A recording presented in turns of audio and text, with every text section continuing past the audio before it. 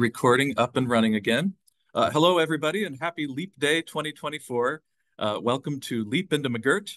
Uh, MAGIRT is the Map and Geospatial Information Roundtable of the American Library Association. Uh, my name is Tim Kaiser. I'm currently the chair of MAGIRT. Uh, I'm also catalog librarian for cartographic resources at Michigan State University. Um, today, uh, for our events today, I'll be joined by uh, MAGIRT Secretary Laura McElfresh of the University of Minnesota, our, our, past chair, Kevin Dyke of Oklahoma State University, uh, our vice chair, Aaron Cheever of the UL Research Institutes, and uh, Maggie Tarmy, our social media uh, coordinator, and uh, Maggie is from UCLA. Um, I'll talk a little bit about our format today. Uh, our lineup includes 13 presentations uh, split among three sessions. Let me put in the chat once more the schedule. Um, there will be a brief break at the end of the first two sessions. Uh, we ask that you hold your questions and discussion for the end of each of the three sessions and that's to make sure that everybody has a chance to present. Uh, you're welcome to submit questions or comments via chat or by raising your hand during the question time. Um, there is one exception to this structure, and that is our opening panel, uh, uh, be, because our uh, panelists have formatted uh, their presentation to include some live discussion.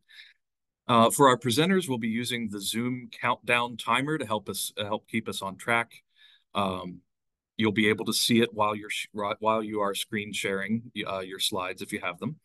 Uh, the plan for now is that I will be the one to uh, who has to remember to start the timer, and we'll see if I do a good job of that, and maybe we'll have to reconsider. Uh, but uh, we'll give it a try. Uh, for our opening session, uh, I'll be moderating. we'll have Kevin monitoring the chat, and we also have Laura on hand to assist as needed. So with that, I will turn it over to our opening panel, uh, The Need to Weed, a panel on paper map deaccessioning uh, with Janet Reyes of uh, the University of California, Riverside, Chris Thiry of the Colorado School of Mines, and Martin Chandler of Cape Breton University. And I believe Chris is first. Yeah, good morning, everybody. You can hear me? Tim, you can hear me? Okay, great. Uh, it's uh, great to, to be here on uh, Leap Day. Uh, as Tim said, my name is Chris Thiry. I'm the Map and GIS librarian at the Colorado School of Mines. I'm going to be co-presenting uh, with Martin Chandler, a, a, man I sincerely believe is seven feet tall because I've never met him in person, uh, from Cape, Cape Breton University in Canada, and Janet Reyes from the University of California at Riverside. Uh, here's a quick outline of what we'll be talking about. I'm going to lead it off and talk about why we think uh, uh, weeding is a good thing, how to talk to other people about it, uh, collection development policies, and then some general thoughts on some weeding plans. Martin's going to go into that a little more detailed. He's going to talk about crafting criteria, collection policies, and AI. And finally, Janet's going to get down to some of the nitty gritty of processes and downsizing and formulate procedures. So why is this a good topic? Why is this uh, good to talk about now? Now we we have all heard the horror stories of map collections being gutted, and we're not talking about from fires or floods. We're talking about huge map collections or slices of map collections being disposed of, not just hundreds, but tens of thousands. And they're done, these massive weeding projects are done by people from outside of uh, the map librarian uh, profession. They're done by librarians or administrators who really don't understand map the value of a paper map collection. And I think all of us worry about that, that some arbitrary decision is going to come down from on high that's going to deem a map collection, a physical map collection too big and its size must be reduced and reduced quickly. And we all know one of the big arguments right now is that space has become imperative. So how do we think about this proactively? How can we get ahead of this? Well, we argue that one of the things that you can do is have a plan in place. And who else to come up with a plan to we to do a massive weeding of your collection is you. You know your collection. You work with your collection. Who's better to uh, to weed my collection? Me, who's been here 28 years, or someone who steps in the day after I retire, which is not going to happen for a long time, and goes through and, and guts the collection. Um, downsizing your collection does not make it worse. I we topped off at 211,000 maps at one point, and I weeded heavily twice, got down to 163,000 maps, and now I'm back up to 165,000. And I would argue that my collection is better now, in better shape than it was at the time uh, we had the most maps. And I also think it might be time to do another big weed. And weeding is a chance for you to really evaluate in depth your collection. Things change over time. Your users, the people doing research, the space, and the space needs of, uh, uh of your organization changes over time. But how do we talk to people? How do we talk to people so they don't just walk in and say, get rid of everything, you're welcome to keep five drawers? How do we make people understand the value of a paper map collection? How do we keep the good stuff? Um, I think all of us here attending this meeting would agree that maps have value to paper maps have value to researchers, instructors, and even casual users. And one of the things that's our job really is to connect people with the physical items in our collection. And how do we do that? Well, uh, there's some some good arguments, how to make good arguments about things you need to keep. And first of all, is to have all your maps being constantly used. If there are people around using your collection, kind of tough to get rid of because it's important to them. Also great to have statistics to show people, not just anecdotes. And lastly, uh, and then what is available physically, only physically in your collection is not available digitally. And lastly, knowing who your users are. Is it a particular department or segment of your population? And conversely, kind of the flip side, same, same thing of how to talk to people about doing a weed and what you can get rid of is kind of the same things. Just the flip side is what's unused and taking up a lot of room in your collection. Do you have statistics that bear that out? what's available digitally that you could probably get rid of and use, uh, have available digitally. And lastly, to know who your users are. So the first step, I think, you need before you start doing a weed is to actually have a collection development policy for your maps specifically. And you want to build that collection development policy in close concert and to enhance the library's mission and goals. And it should be pretty general just to give yourself a lot of flexibility. So in a collection development policy, you know, we kind of know this, but just a reminder for maps, uh, you want to identify who the users are, who your audience is, how it fits into the collection in general. It's really important, I think, in a collection development policy for maps to define the scope, the various scopes, geographic scope, subject scope, date and chronology. All these are up to you. You don't have to take it from other people. You get to decide these things. You might want to mention in a collection development policy something about um, formats. Are you going to keep CD-ROMs?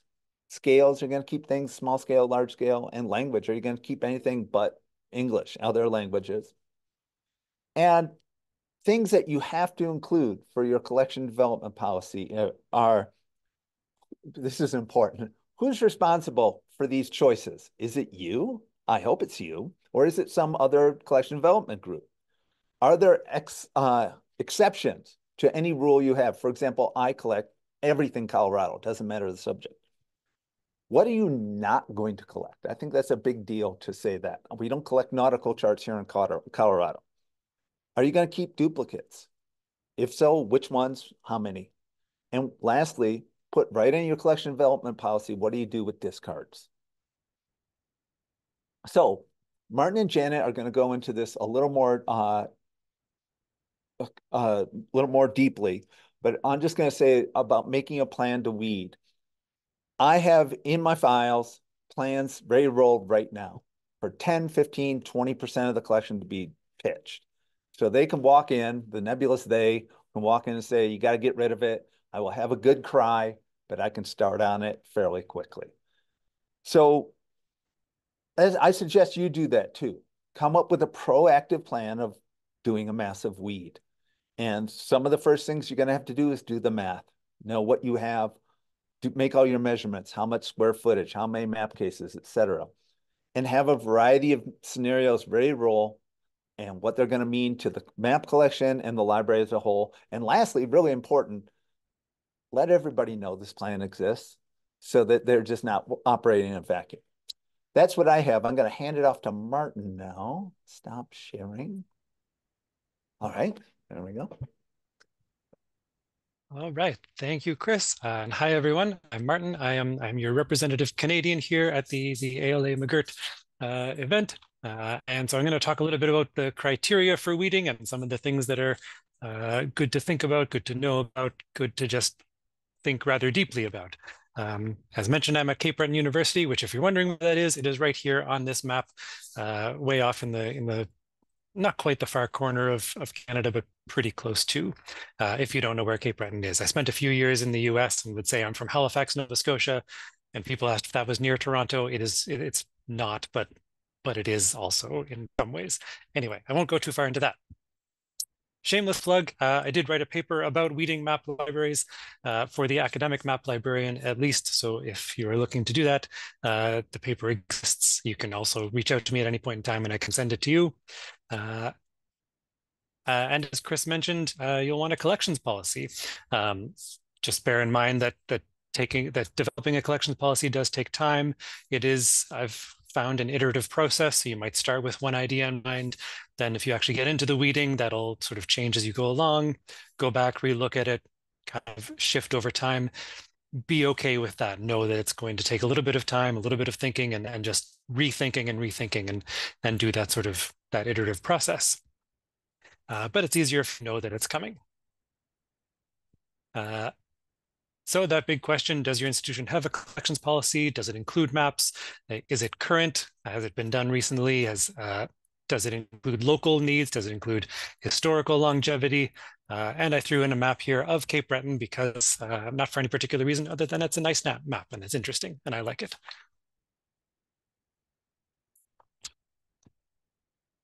Uh, some important things to consider, even if something is low use, materials may not exist outside of where you are. So I mentioned that kind of local needs. Uh, local users may not just be institutional, they could be uh, in the community more generally. Uh, and this might involve some outreach to other institutions in the area to work collaboratively on, on what you might need to, to think about either retaining or, or getting rid of. So there's a whole lot of uh, whole lot of stuff there. Um, and as an example of this, uh, there's a place in Nova Scotia called Ecum Secum. Uh, it's a very, very small town, uh, village really. Um, and if you were to go looking for, for information about that at, say, the University of Toronto, the biggest university in Canada, um, there is very little. Similarly, for a place called Mushaboom, uh, there's another place called Shag Harbor. Uh, I did the search for Shag Harbor, University of Toronto. There are seven items there, uh, whereas at Dalhousie, there are about 2,000. Dalhousie is the, the one in Halifax, Nova Scotia. So if it exists elsewhere, uh, that's great. Uh, it, it, it may not though, especially in your largest institutions. So you might want to just check on these things because they may not collect for that. Uh, now, Chris mentioned usage, and uh, I have all kinds of thoughts about usage, and I have more the more I think about it. Um, I find ideas of use in maps can be uh, can be challenging sometimes. Um, yeah, as a criteria, it can be suspect in general. We've we all sort of know about this in terms of reading, but they can be required, um, and they also require a temporal philosophy. So, like the the overall time that we're thinking about um, in terms of keeping something. When is it no longer useful? When do we know it's not useful long term? Um, was that here? Uh, yeah, so documentation on usage. Uh, how do we keep that? How is it? How is it managed? Is it just a, a paper that you have that you say like, yes, this map, somebody was looking at it and I had to refile it, all of that, that kind of thing. And then there's a question of duplicates. Do you need duplicates? Should you get rid of everything that is not a, or that is a duplicate uh, and only have one copy? Or do people need multiple copies? What's going on there? There's, there's a lot of sort of contextual things with every single item, right? So we have to, to think about all of that stuff. Um, then the question of is it useful but unused? Uh, why is it useful or why is it unused? Can you promote its use? Uh, timelines, again, sort of temporal philosophy here. Timelines can be elastic. Uh, you, some might see 10 years and as no longer used as a good thing to get rid of, but we also think 25 years or 50 years, or we could think five years if it's not used in five years. So uh, that's a that's a big debate to be had, I think, um, with with those folks who are pushing for this weed.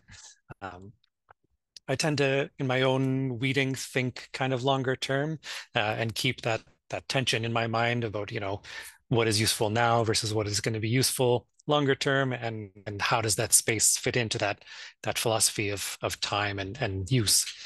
Uh, and local materials may often be less used depending on where you are, but you may be the only one who has it. As I mentioned, like Shag Harbor there's not a lot about Shag Harbor. It's a, it's a tiny little village, but if you look into it, and I keep mentioning Shag Harbor, um, it's the site of Canada's most well-documented UFO crash. So if you're interested in UFOs, Shag Harbor, uh, you're welcome for that. Uh, I won't go too much more into my whole time thing, but we can talk about this if you have questions. Uh, but I'll move forward to just considering ideas of the beautiful. Uh, so data usage things are a tool. They're not a, a full answer to things. Sometimes a low use but absolutely beautiful map can be kept simply because it's a beautiful map. Uh, and I think that's okay. I think an excellent reason. Uh, I come to to this world from an arts background. I, I think about aesthetics a lot as well. So um, be okay with the beautiful. As an example, I really like this map. Uh, it's not particularly useful. It's a map of Sydney, Nova Scotia in Cape Breton. Um, it's an older one, kind of gives some ideas of, of, where things were, but there's other maps that show that better. Uh, but it's still, I think, a, quite a lovely map. So I would keep it regardless. Um, I'm going to skip past this because I'm running short on time and I wanted to get to this new part, this whole idea of artificial intelligence or machine learning that we've all been kind of hearing about dealing with. Um, and this, this idea that's come to me of like, will AI eventually be trustworthy? Is it trustworthy now, or will it undermine the entire idea of trustworthiness of digital information just because of the way things go? Is it, as I say, an Aladdin-style genie or a monkey's paw? Um, so here's a here's an AI generated uh, topographic. Well, I told it to give a topographic map. It's it's not really, but uh, AI generated map of the United States if it were to take over part of Canada. Here's another one this one was got a little bit closer, but not quite there yet. Uh, does some funny things. As you can see, Alaska has kind of uh, been cut off here. Um, Nova Scotia, where I am, is, is questionable over here. The mountains are all kinds of things going on there too. But uh, this is what it generated. And Greenland now uh, United Canada. Here's another AI generated map. Again, Alaska's sort of cut off east coast of Canada is on all all kind of wonky. Labrador here is okay, but Newfoundland is just sort of spread over and joined the mainland almost. Nova Scotia's gone. It's a whole thing. Um, and then I said, what, what would it be like if the US invaded Canada? And here's what it gave me. It's actually a lot closer to what we would see normally. Although again, Nova Scotia is not doing so well in these things.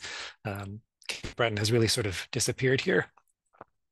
Uh, and then this is one that it generated as well, which was uh, exploring the topography of the Great White North of Canada, discover Canada's provinces. Um, and it, it, created this map that looks a lot more like Japan. Uh, so, so questionable things going on there. Um, so I have some more things, uh, but I will save those for, for any questions and discussion. And I will now hand it over uh, to Janet. Thank you, Martin.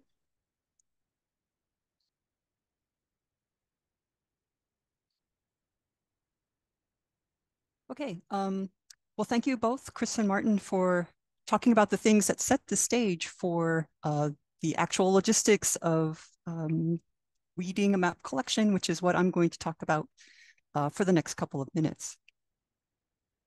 Let's first let's think about who manages map collections these days. Uh, we love it when it's individuals trained and experienced in map li librarianship. That's the way it's supposed to be, right? But sometimes that's not what's happening. A lot of times it's librarians or library staff who got um, kind of handed this extra responsibility or a new responsibility, and they don't really have much experience with maps. Sometimes it's somebody who came to the library with a background in GIS or maybe data science, and the administrators say, well, close enough, now you're managing the map collection, right? And you have to, to uh, cut it down to size. So that can happen. And for all of these groups of people, um, they may have a range of project management experience. And I think that's important because downsizing a map collection is a project and there's lots of moving pieces and it just really helps if you have some idea of how to, to manage that through from start to finish. Um, so processes in downsizing a map collection, I've got the first two grayed out because Chris and Martin have already covered those uh, fairly well or some considerations in doing that. Um, but then when it's time to get going, what you need to do is establish the procedures you're going to use then test out those workflows that you think might work and also write up methodologies because you're probably going to have helpers who may not remember everything or understand everything. So having it written down is, I think, super important. Um, and then go ahead and implement those procedures, do the things, see how it turns out. And uh, don't be afraid to revise. Some things that seemed great in concept may not work when it's uh, in practical matters. So uh, really be flexible on what you've devised for your workflows. Um, it helps to monitor progress so you know when to maybe ask for more resources or time. Uh, if you, especially if you have a hard deadline of when you need to finish. And then um, obviously the, the goal of this is to route items in your current collection to their final destination, whether they're keepers that go back in the drawer or back on the shelf, whether they are going to be respectfully disposed, or if there's like this middle ground where you can't keep them, but you can find somebody else who would give them a happy home. And that's what I call dispersing the items. And um, in my experience, that happened quite a bit with what I could not keep in my collection. Um, and then at my last bullet point there is most of the time, or I think almost all of, of the time, when you downsize a map collection to a significant extent, it usually comes along with moving it somewhere else or reconfiguring the footprint of where it currently exists to allow more space for other things to happen. So, and all of that has a lot of um, procedural things to think about as well. This slide gives a little bit more about the procedures and workflows. Um, the graphic on the left is something I came up with that's just kind of a general overview. You're going to assess the materials. You're going to decide whether they're keepers or you're going to let them go. If they're keepers, Sometimes there's things you need to do or can do to prepare them for keeping. Maybe something's damaged and you want it to um, go into conservation or something like that before they get rehoused either back in the drawer or back on the shelf, where whatever it may be. If you're going to let them go, there's things that you need to do to get them ready for removing them from your collection before they end up in your in the final destination, whether that's um, dispersal or disposal. And several of workflows may be needed for any of these components in that those blue shapes because you have different types of items, right? Uh, whether it's cataloged, whether it's classified, by which I mean um, has a call number on it. Um, is it an individual thing or is it part of a series? And then um, also if they are depository items, uh, there's a special protocol that goes along with that. If it came to your library through a depository system in the United States, we have the FDLP. I believe in Canada, it's called the DSP. Um, so you need to be aware of what those protocols are and how your library follows them. So here's a photo of the former map collection um, in the UCR Orbach Science Library. It was out of the way, not used very much. We had over 100,000 sheet maps, only a small percentage of them were cataloged. And during the review process I went through in um, 2018, 2019, we downsized from 625 to 270 map drawers at the same time, I was able to add more than 2,000 sheet maps to the catalog that were previously uncatalogued. So, um, and like Chris alluded to, I think my collection, our collection is better uh, for having been weeded. Um, and here's shameless plug number two. I felt I could not pass up the opportunity to just mention that last year, uh, this workbook came out uh, for conducting a map collection review based on the experiences I had Um, lots of nitty gritty, detaily kind of things in there. And so if you are facing this task, perhaps you would like to uh, download it. It's for free. And there's the, uh, the link for uh, finding it. And that's it. Uh, all three of us, thank you. Um, there's our contact information if you are interested in reaching out to us later. But in the meantime, we now get to the fun part of the panel, which is um, answering your questions. So um, thank you very much. Thanks. Janet. Um, it's Chris again, and we uh, asked you all in um, registering to if you had any questions for us, and we did have a few. So I'd like to kind of handle those first before we get to uh, any that you want to put in the chat or raise raise your hand or however you want to do that. So the first question I have um, is kind of for Janet, and you you talked about it. Um, where should maps go when they leave the colli uh, the collection and you don't have a secure home for them, waiting for them?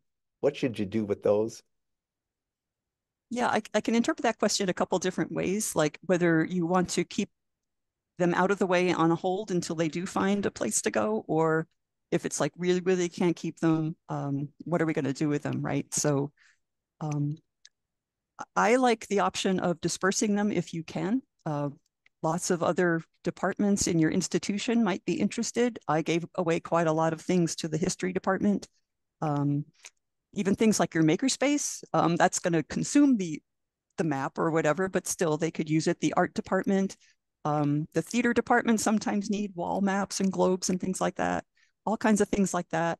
Um, and even campus uh, departments like um, our international uh, program for students to go overseas. They wanted all a lot of the um, you know the roadmaps for overseas locations and things. So there's that option. You can also look at other institutions in your area or collections that you know that have that specialty and for the, the things that you're uh, not going to be able to keep. And then uh, sometimes personal um, collections, like um, at my institution, the raised relief maps that were really popular. People always think they're cool, and they were just so happy to be able to get one of a, an area that meant a lot to them. So um, I encourage people to look for those kind of um, places where they could end up being a happy home. And then, of course, there there is the recycle bin um, if all all else fails. So I hope that addressed the question a little bit. Um, and Martin, I don't know if you can handle this one or or we kick to the other. How how are people relying on digital editions of maps, and how does that influence weeding? Uh, if something is scanned, you no longer need it, or how is that playing into your your thinking? Yeah, I think that ends up being sort of a, a lot of the the idea behind space as well is like, oh, we don't have it here, or people aren't using it because they're going to the digital side.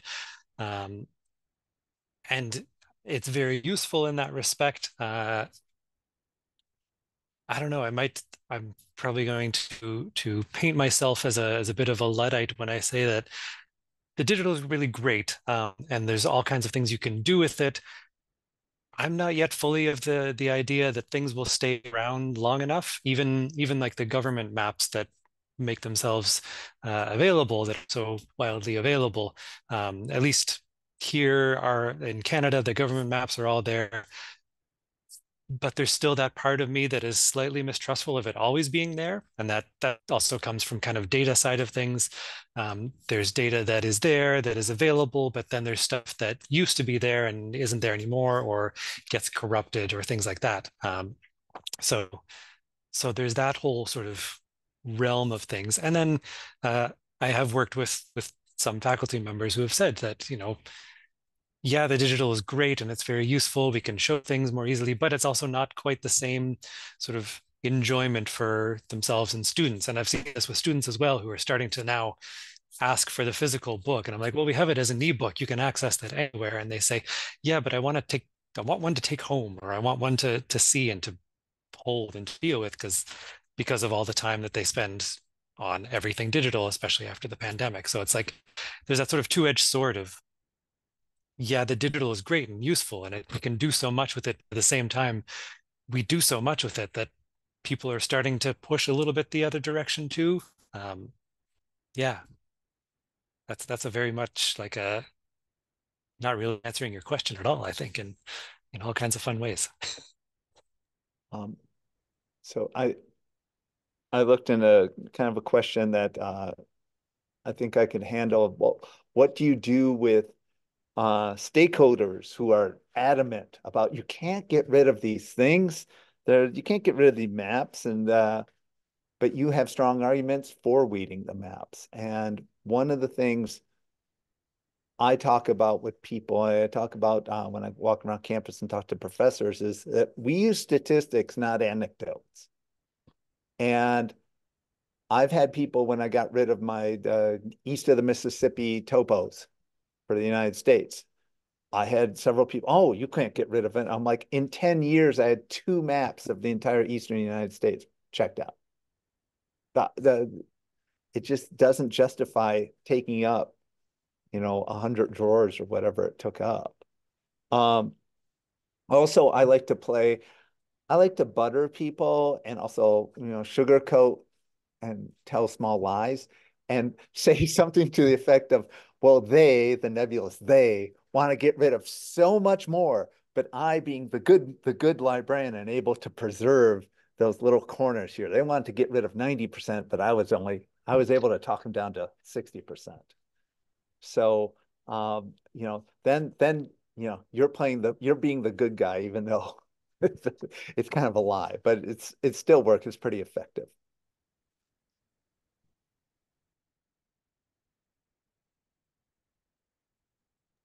I'm not sure if people have some questions they have for us to put in the chat or want to chime in.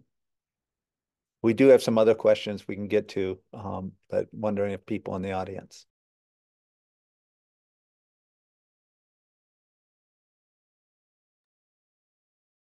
I have a question. This is Tim. Uh,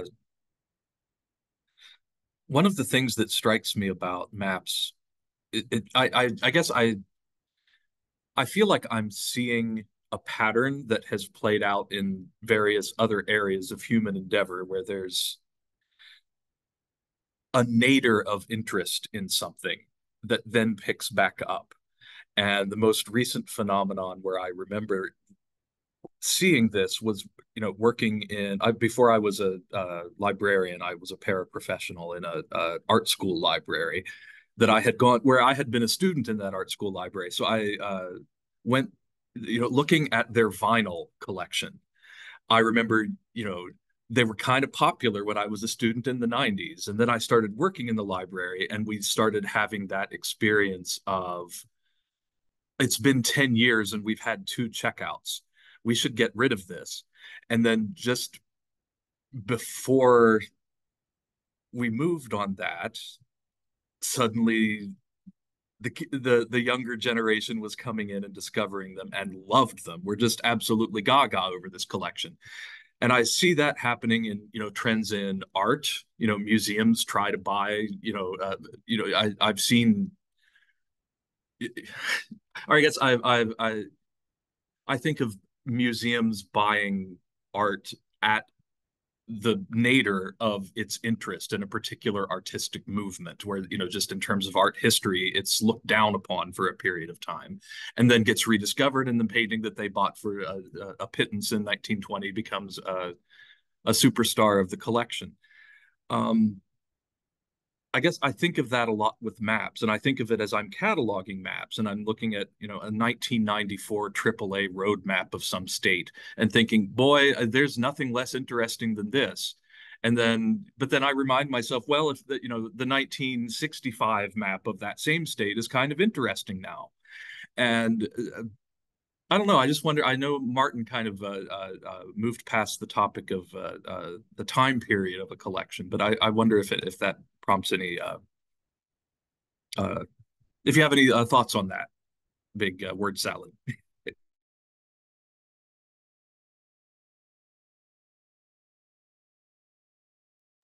well, I'll I'll just tell you anecdotally that I heard through um, that someone said the best way to create a, a, a fantastic collection in the future is to collect right now. And that you we all can point to wouldn't it be cool to have those 1930 roadmaps of your state? Well you can maybe find them for a high price these days but you you know the ones right now you pick them up and 50 years from now they're going to be worth something. I think what's important is to define uh, to have that collection development policy to say what are you collecting? Right? Those those AAA roadmaps. Maybe you do have a great roadmap collection, and that's important for a variety of reasons to you.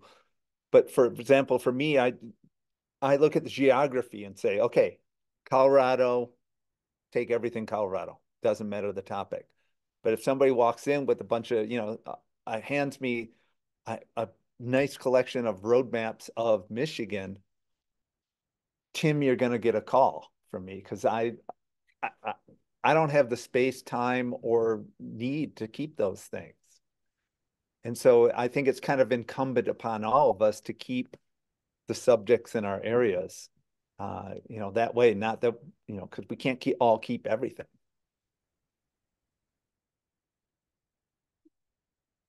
John, go ahead, John Clark. Uh, thank you very much, and, and thanks for uh, you know really thought-provoking uh, talks from from all of you. Um, I really like Tim's point, um, I mean, if we start with the assumption that that uh, librarianship and lots of other people are going to that demand is what counts. You know, what people want now is should be driving most of our collection decisions. And I think we would all hesitate to endorse that, but in fact, that really is what uh, a lot of the institutional top-down kind of uh, um, is driving decision making in collections in general, uh, as well as the uh, debate over physicality versus other uses of library space, uh, which I'm struggling with at my library right now. So Tim makes a very good point that what's popular now is not necessarily popular in 10 years. So first of all, you're introducing, you know, that, uh, you know, atemporal kind of element into that equation when you buy that pure kind of neoliberal idea that if, if it's not in demand now, um, we don't need it. The second thing is I'd make a case for ubiquity. In other words, the assumption that demand now, the experience, the utility, as my economics professor father would call it, of every single user is the same is not necessarily true.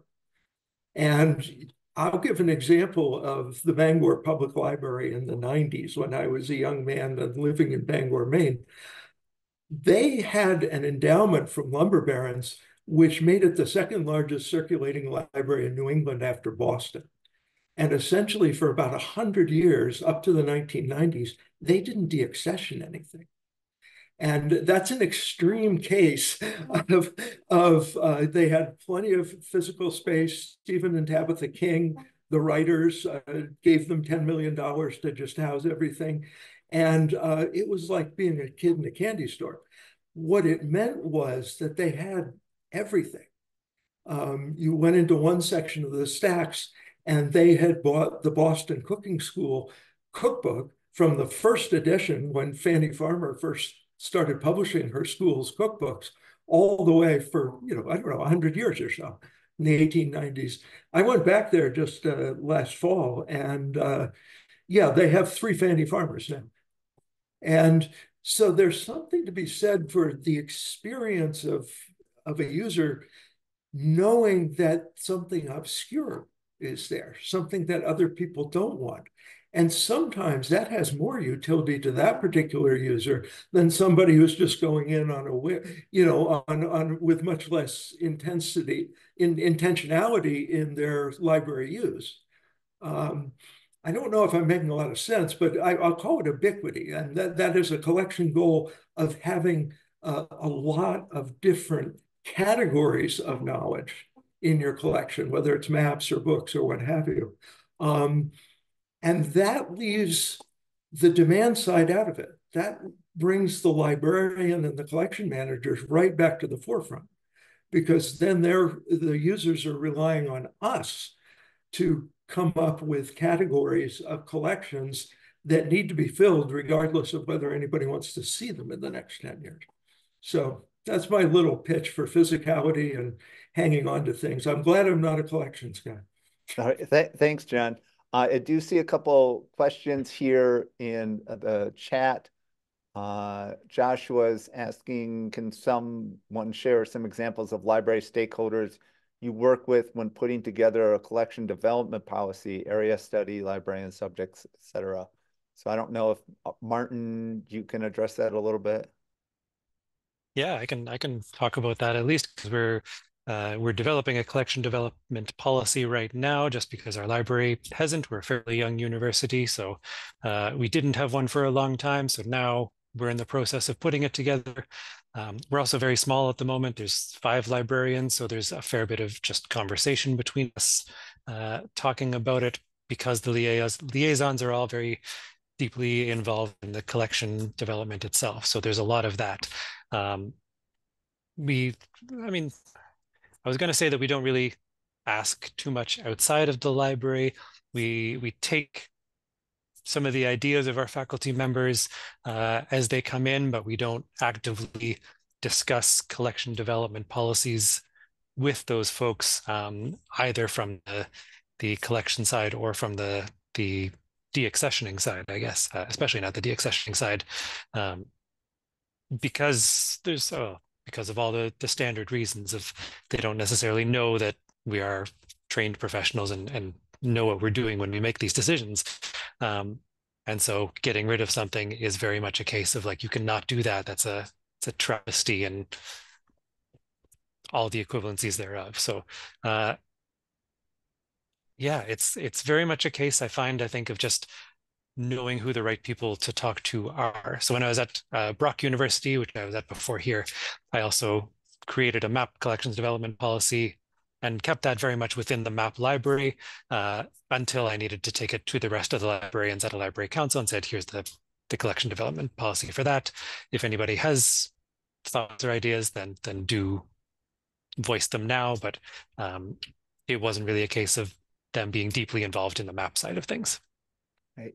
Uh, looks like we only have about a minute left. I know there's one question we can get to maybe at the uh, very end of this uh, whole group of things about uh, state law and disposal of material, but Wayne Wango has uh, his hand up. So something we can answer real quick. Um, thank you. Um, one of the things that I think the we have not really discussed is about advocating for scanning before weeding out. I think that is something we really need to talk. A weeding is very easy but advocating how to get those maps scanned before weeding, for me, looks like we are losing a lot of important materials taken out.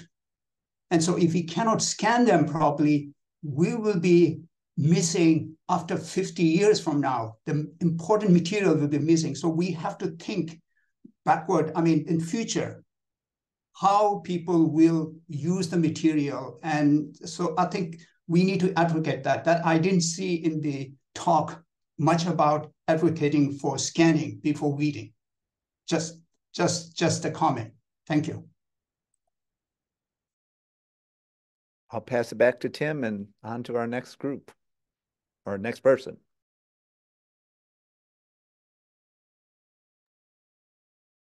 Thank you. And uh, um, Yes, let's let's we will uh, move on to our next presentation, but uh, we can hang on to these questions for time at, if when there's time at the end. I, I imagine there probably will be. Uh, but thank you very much. Let's a uh, virtual uh, round of applause for our opening panel. That was a great presentation and discussion. Thank you very much. Um, our next presentation is also on the topic of weeding, but a different aspect. it's a lightning talk by Michelle Colquitt of Clemson University, and it's titled Leaping into the Weeding, Weeding Maps After a Catastrophe. So I see, uh, uh, Michelle, I can see your uh, slides, so I'll turn it Perfect. over to you. Perfect. And you can hear me okay? Thank you. Um, so my name is Michelle Colquitt, and I'm the Continuing Resources and Government Information Management Librarian here at Clemson University Libraries. Um, I am also the interim e-resources coordinator. I'm going to talk a little bit about weeding our maps after a catastrophe. Um, so a little bit of the agenda, just I'll give you a little bit of information about Clemson University Libraries, outline our December 2022 weather event, and then discuss the maps collection move as part of the larger government documents collection move. Um, I'll talk about the collaborative maps weeding program development um, developed in accordance with um, several of us across the libraries, and then talk about the actualities of weeding and then our future assessments. Um, so a little bit of information about Clemson.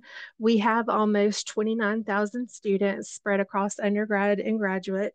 Um, we are a public R1 land grant institution in upstate South Carolina. Um, I don't know why, but sometimes I think people think that we're private, but we're not. Um, Cooper Library, which is pictured on the screen, is our heart of campus. Um, it's a beautiful mid-century modern building built in 1966, um, six floors with our collections currently or at the time spread across uh, the first, third, and fifth floors. Um, we have several branches on campus. We have an offsite storage facility located about eight miles from campus. And then we also have a presence in, um, across the state of South Carolina.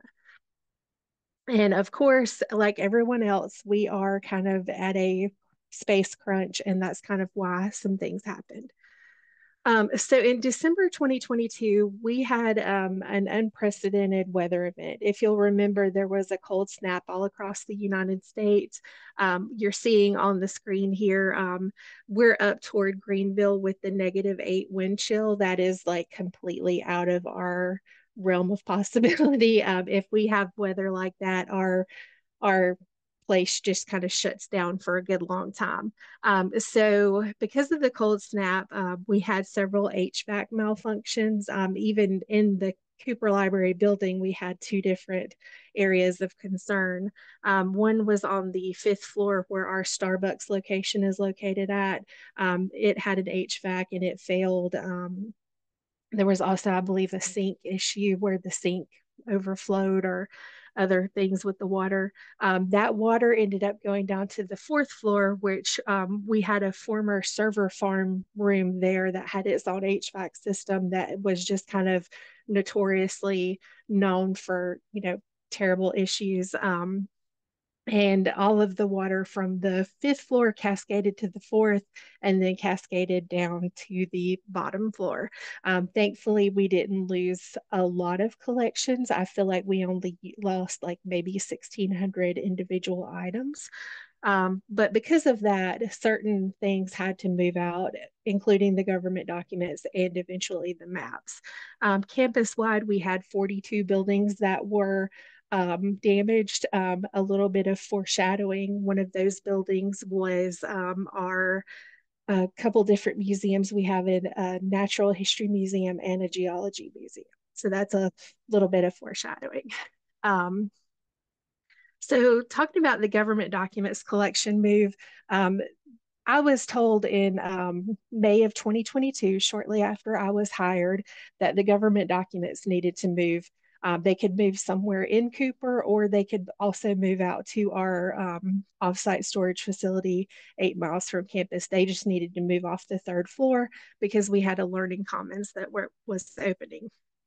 Um, so the government documents were comprised of approximately 9,500 square feet of stuff. Um, and I think that the maps collection was included because, you know, sometimes folks just like to shoehorn maps into government documents.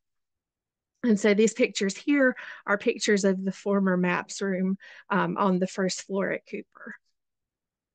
Um, our MAPS collection evaluation, um, we have approximately 41,000 items in the collection, and the, the, great majority of which are cataloged Hallelujah. Um, previous employees were very passionate about collecting and cataloging maps. Um, so things that we're seeing in the collection. Um, there are fake SUDOC numbers. Um, as you'll see right here, this is a county map of, Oconee County, South Carolina, which is um, the next door neighbor county of uh, Clemson, which is in Pickens County. It has a fake SUDOC number on it, a U5.2. Um, we also have CIA maps that are in binders, uh, maps of various countries, um, and then also the raised relief topographic maps, like the one up in the upper uh, right-hand corner is a map of Leadville, Colorado. Why? Like, it, I mean, other than it's cool, why do we have this? Um, so weeding guidelines, um, in accordance with our um, group of folks, we've um, talked about different um, things that we're going to weed. Uh, we've worked together with the public facing government information librarian and uh, the government documents team. So I am the backside of that team. I am responsible for cataloging, and my team is too. Um, so our guidelines that we have developed is that, of course, we're going to keep everything in our ASERL Association of Southeastern Research Libraries, um, Centers of Excellence collections. We maintain collections in A13, which is the Forestry Service, I-29 and I-49 National Parks and Fish and Wildlife. Um, we will keep everything South Carolina, North Carolina, and Georgia and in those we have South Carolina city maps, South Carolina traffic maps. Um, we also have coastal charts that are South Carolina, North Carolina, and Georgia, um, but we're going to get rid of probably everything else. Um, CIA maps can be removed that are moved back into the stacks and removed from their binders. Um, international maps, we're going to withdraw withdraw the majority of those and make cases for what we'll like to keep. Um, also, with some of our South Carolina city maps, we have to go back and um, reevaluate call numbers. As you saw earlier, you saw the fake SUDOC numbers. so our progress we haven't made a ton of progress because of several different reasons. Uh, the technical infrastructure is kind of there, but as you'll see on this picture right here, um, our animal friends kept us from doing a lot of work. Um, I work pretty early in the morning, 7 a.m. I'm not saying that I thought there would be a night at the museum situation. I just, um, I have feelings about taxidermy and animals at museums, and I did not want to go back and hang out with them early in the mornings. Um, so they have moved back to their homes, which um, I believe was the Natural History Museum. So they moved back to their home, and um, in summer 2024 and forward, we're going to focus on weeding the maps. Um, it hasn't been mandated that they be weeded, um, but we just kind of see the writing on the wall. Um, they are building a a new depot building at some point in the future and also doing some pretty severe renovations on Cooper. And so we just know that kind of space is at a premium. So we're going to be mindful of that. And that's why we're waiting. Um, future plans definitely we understand and reflect on the emotions of weeding. Um, there were some pretty big emotions in terms of the government documents move. Um, my staff has been here for a very long time, um, everyone basically over 25 years. Um, so they had some really big feelings with the government documents move. I definitely understand and respect that those feelings are there with um, weeding so that's why we're going to make those informal check-ins and also we as talked about before in the, the, the first session, we are going to work on a um, collection development policy. We have that in the works. And I do have my handy dandy weeding the map collection workbook here with me. Um, and then also we're going to have celebrations. I definitely believe in celebrating. And so we are going to do that. Um, and then here are my references. And if there are any questions, please feel free to reach out. Um, I love to talk about this. So thank you so much. Have a good day.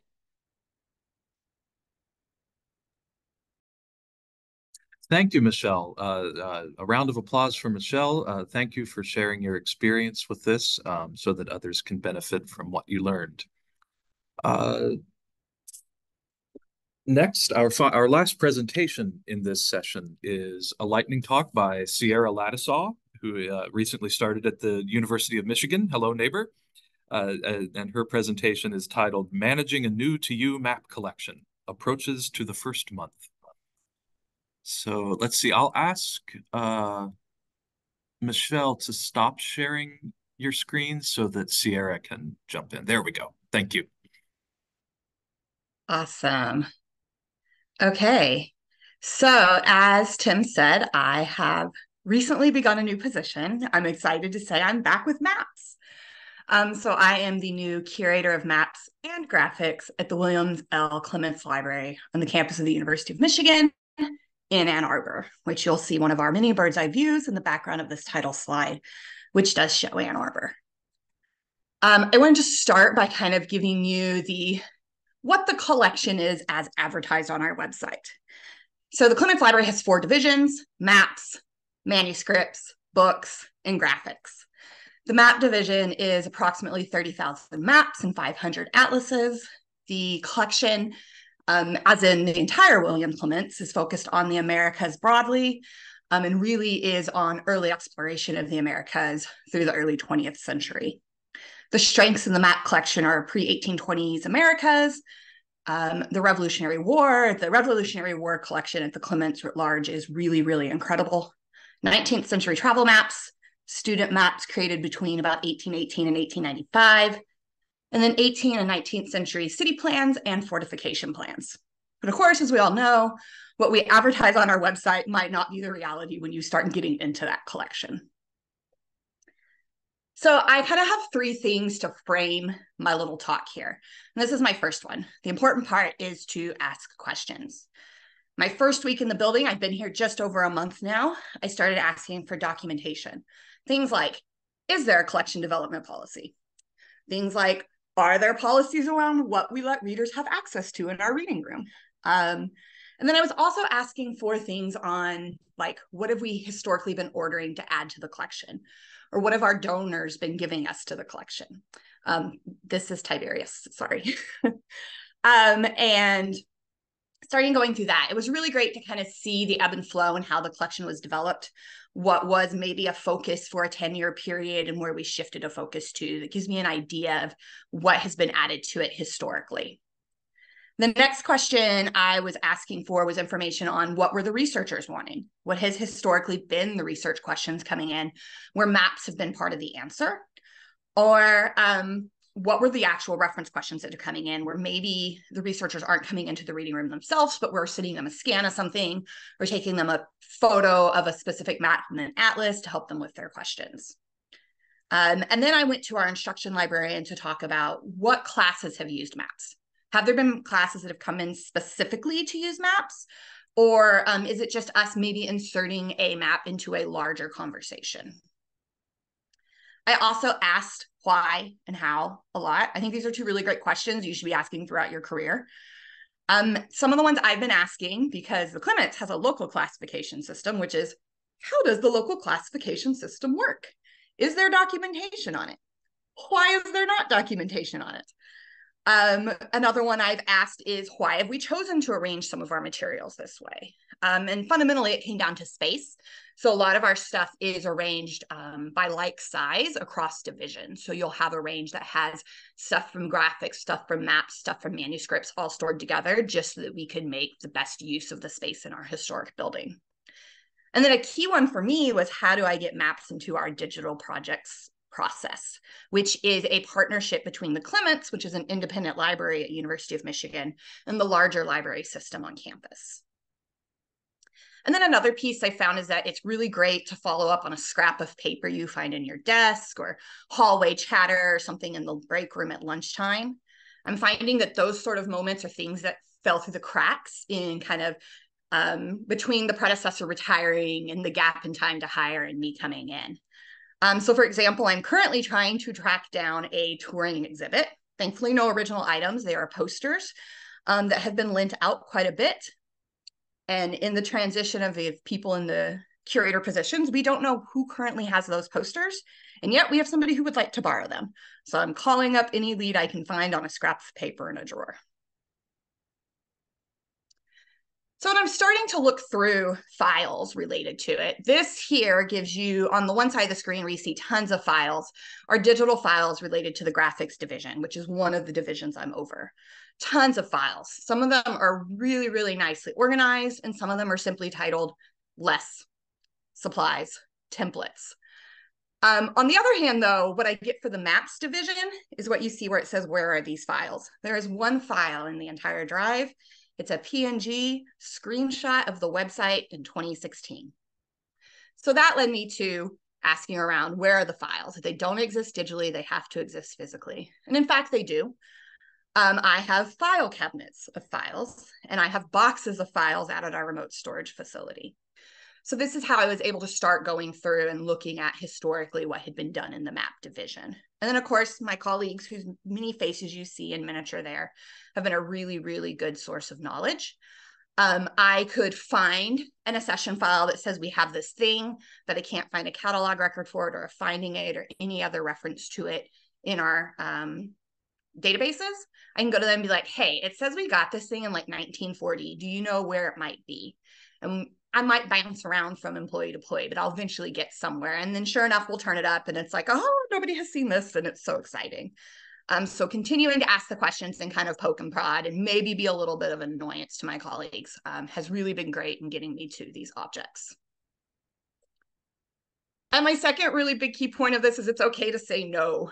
And if no is not a word you're comfortable with, you could also say something like, I need more time, or let me get back to you with that. I've been using a lot, huh, that's a great question. Let me investigate.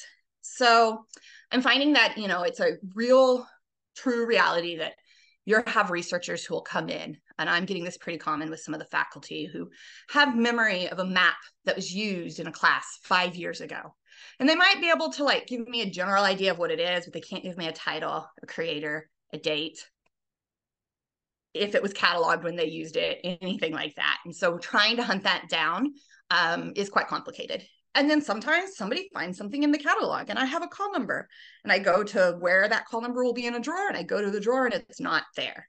So sometimes it's a really practical no of just, I'm really sorry, I can't find this object at the moment. I'll continue to look and get back with you.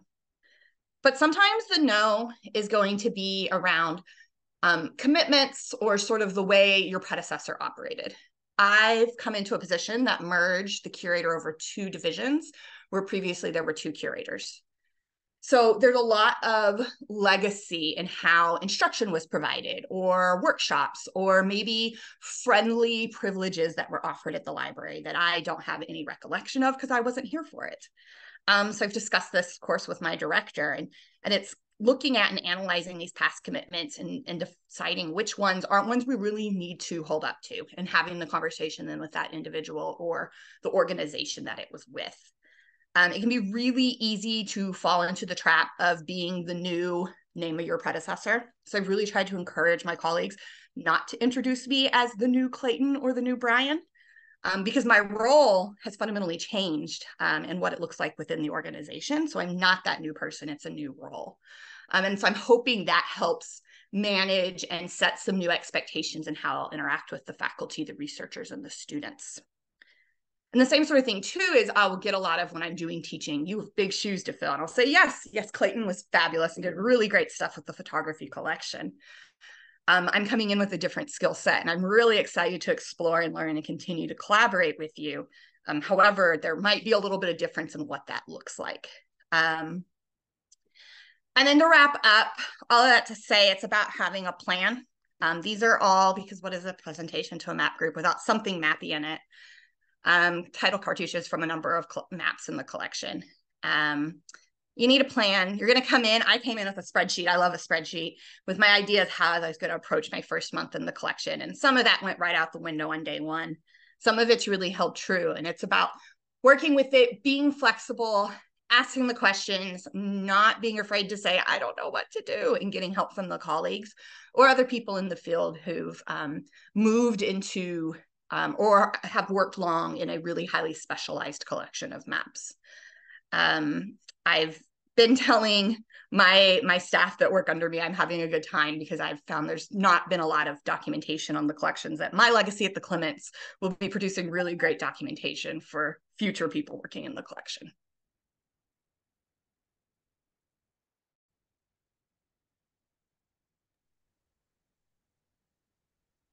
Thank you, Sierra. Uh, uh, another great presentation to round out this uh, our first session here. Um, I will open the floor to uh, any questions or discussions. I see that um, our first group of panelists have been refer have been replying to some of the questions directly in the chat. Um, Kevin, are there any other uh, chat questions that we'd want to uh, I'm not seeing any. There's been just some nice discussion going on. Um, uh, Susan, uh, Susan Moore was asking uh, the first group, or she said, "We're yeah, we're limited by state law how we can uh, dispose of library materials. Anyone else have this issue?" And I think that's a really good question. Uh, uh, Chris, Janet, Martin, any thoughts on that, or anyone else really? I'll let that go to Janet and also talk about the the federal depository, some aspects of that. Well, Chris, I don't have anything to say really. Um, we did not have that obstacle um, for for what I did. Um, but yeah, it kind of reminded me, like you said, about the depository. So, um, oh, I see Sierra has her hand raised. so when I was at Texas A&M, there was very strong policy around what we could and could not do with library collections that had been um, accessioned and added to the collections because they were state property. My opportunity was to transfer it to another state entity or dispose of it through our pulping program. So there was a fair amount of transfer between the state organizations trying to to figure that out. But I sat down and and read what that policy said, and it said accessioned. Uh, and so I kind of took a little bit of a Wild West approach, and it was just like anything in the drawer that doesn't have a catalog number, doesn't have a property stamp, doesn't have a record that it's here, was never accessioned. And it sort of fly by night secretly got dispersed to other collections. Um, so part of it was finding that little loophole um, of where maybe they're not actually critically watching. Um, and mean, I talked with some of our, our um, collection managers in other parts of the facilities, and um, it was much easier or cheaper for us to actually pay the shipping and handling to send a tube of 10 maps to another institution than it was to pulp those 10 maps through our pulping contract. Um, so everybody just kind of turned a blind eye. We felt we were okay because there was no record that the state owned these objects. So they had never, quote, been accessioned. Yeah, I think technically with the FDLP that if you're getting rid of things, that you have to notify the regional libraries and ask if they would like them. Um, I, in the past, uh, have been fortunate when I am dumping a a lot of things. When I got rid of my nautical charts, for example, that they didn't ask for a list; they're just general pass, and so that was that was convenient. And I think most um, there might be some regionals here on the on the call that can speak to that a little more, but um, yeah.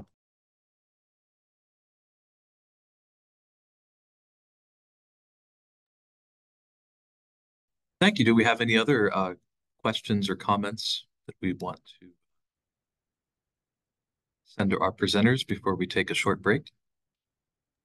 I'll just jump in real quick here. Um, we, we, did this uh, workshop, a similar workshop at WAML, and we asked them, uh, kind of had a quick poll. We only had 11 people, but we asked about what can what can you get rid of?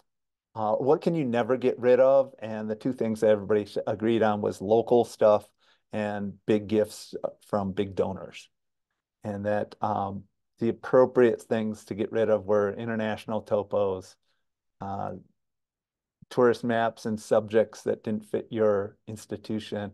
And the one thing that we all thought was very funny that, you know, what can, we asked, what can you get rid of? That there will be limited consequences if you get rid of it.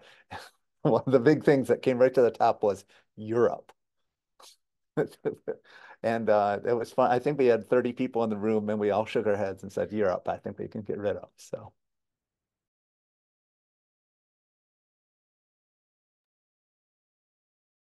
Great. Thank you, everybody. We will reconvene for session two at 2 o'clock Eastern and 11 o'clock uh, Pacific.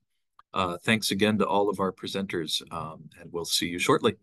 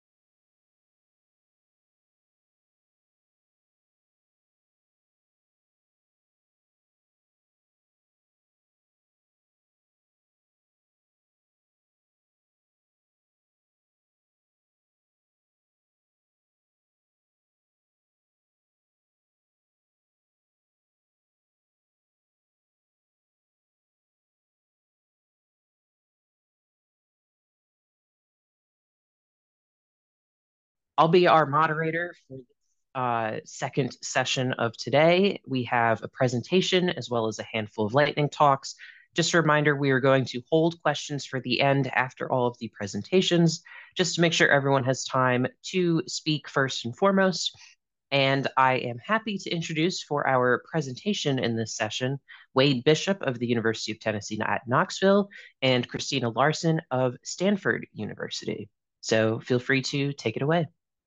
Well, thank you, Megan, and everyone else for attending. Again, it's a, a fantastic event. Very, very excited to see folks I haven't seen in, in years and happy to have an outlet to share what we found recently studying uh, you all, basically. Uh, my name is Wade Bishop, a professor and now Director of Graduate Studies here at the School of Information Sciences at the University of Tennessee, Knoxville. I'm also the coordinator for the Research Data Management Certificate here. Uh, just a quick plug, if you're trying to upskill with the response to all the new data services librarian jobs and requirements from funding agencies to have data management plans, it's a great way to, you know, learn learn those skills uh, for just 12 credits. I'm also a research security ambassador for the university, uh, helping protect our research and development um, that uh, that's federally funded that we should hold on to and not have stolen. And I'm really the most lucky advisor in the world because I have Kristina Larsen, a recent graduate of our program, uh, working for a couple years and really volunteered to make this happen as the assistant rare map librarian. Uh, she's going to go ahead and talk through a lot of the findings, um, but was instrumental in designing this survey and helping pilot test it, all kinds of other things there at the David Rumsey Map Center and at Stanford. So um, we're we're very very lucky. Uh, I kind of wanted to focus on what is a librarian. It's a theme that's already come up and is kind of continuous throughout the literature in this area. Um, there has been, uh, I guess, 100 years, so it was a good time for us to update uh, in response to the Williamson reports. If anybody is interested in library history and education, it's it's great. Um, he was really pushing back a Carnegie-funded project to study the state of education at that time and recommended having some standards. You know, they were we're all teaching different things. Why don't we have some more standardization in what's being taught? It took a while for ALA to have accreditation standards that were pretty firm and having that accrediting body. Uh, so at, at that point, um, a librarian was, it was decided that a master's degree would be the terminal degree and adequately prepare people to work in places like libraries. Um, certainly, uh, I was very fortunate to do some work in geographic information librarianship uh, had an IMLS grant to study you all. That was a, over a decade ago. So this study is a decade update from that original survey validation. Uh, for a lot of you in this Zoom room, we're there to help craft the core competencies we have. Uh, and the idea to was to develop curriculum that would basically map to what you actually need to know, the knowledge, skills, and abilities that people on the job actually need to do all these wonderful things instead of whatever a professor finds interesting or you know the newest trend in technology. Um, so it was very fortunate that MAGIRT had core competencies to validate, and we did them uh, again a decade ago. And when there was updated core competencies in 2018, we went ahead and just redid it. So this is today's, you know, hot off the presses findings from the survey data collection that happened last fall. I'll mention that at UT's program, we still have geographic information and information sciences and uh, 516 geospatial technologies. So if you have any staff that are interested in pursuing a master's degree, an ALA accredited degree, a top 10 program degree, uh, this is definitely one that we're, we're still very strong and have a, a pathway for this area uh, being ALA accredited and also, also an iSchool affiliated member. Uh, in 2013, we were looking at the 2008 MAGIRT core competencies. Um, again, thanks to those authors who spent time, a lot of time uh, writing them all out, and we use them to inform the learning outcomes. But after a decade, I realized it's time to do an update. Uh, so luckily we had uh, Kristina being interested in this and we looked to validate the 2018 MAGIRT core competencies to you know re-inform our stuff. The survey was sent out through Maps-L, so I'm sure a lot of you responded. Thank you so much. There's no data to report without participants. Um, these are some globes at the University of Michigan, actually. I was there last week at an open science symposium. I was like, oh, I need more content for my slides. So good to hear some some stuff from from Ann Arbor today too. Um, just cross paths. Uh, this distribution potentially reached a thousand people, so it's not quite representative. I can't report those kind of statistics, but since we reached out to GIS4Lib and Maps-L, I think we got all the relevant people. Uh, there are only a handful that actually subscribe to both. Um, so, or to only one, I should say. Uh, we only had 70 complete responses, so that was very handy. And thank you again. It was 21 questions, but we were evaluating a lot of core competencies. So I know it probably took 20 to 30 minutes. So I appreciate everybody who participated. And I'll turn it over to Kristina for the exciting fun part, uh, what we found. Thank you. Okay. Um, I'm gonna, will you stop sharing so I can drive over here?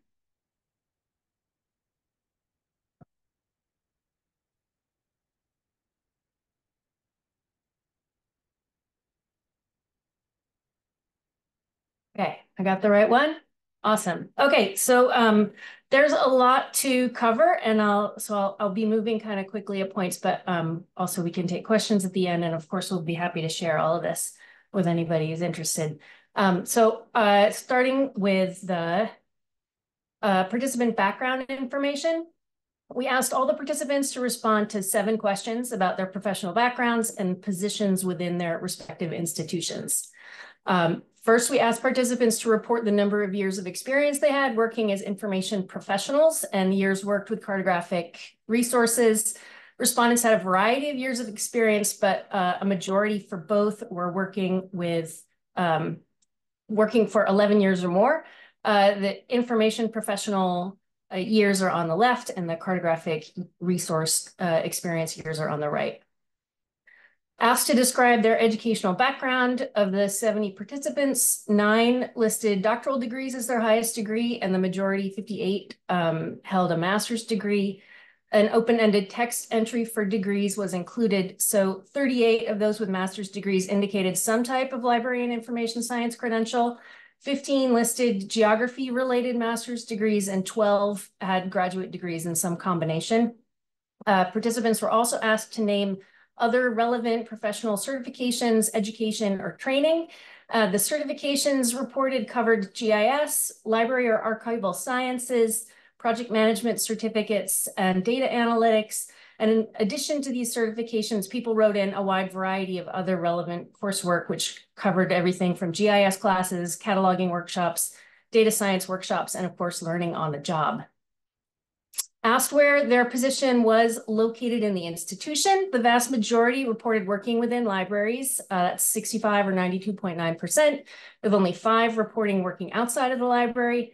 We then asked where in the institution the GIS support services were located. So 19 said in the library. Uh, the majority, again, indicated that there are GIS and geospatial data support services, both within the library and other parts of the institution. Nine indicated that support services were only provided by a separate department, and seven didn't know how to respond to the question.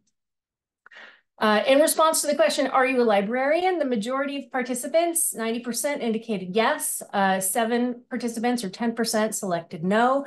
And an open-ended job title question followed. So as supported by our literature review, there is little standardization of job titles across the field. So of the 67 responses where a title is indicated, we had 59 unique entries. So we counted occurrences of text and found 35 uh, of the titles, or 52%, included the term librarian, 20 included the word map, and 11 contained map and librarian, GIS, or data. Uh, in response to the question, what kind of cartographic resources do you handle? Uh, the majority uh, indicated digital surrogates of paper maps uh, with circulating contemporary maps and other cartographic typical paper material uh, and spatial data in GIS databases, both 46 people reporting working with those, followed by born digital maps, and about half reporting working with antiquarian or non-circulating maps in a special collection setting. So now we'll take a look at the knowledge, skills, and abilities uh, importance ratings.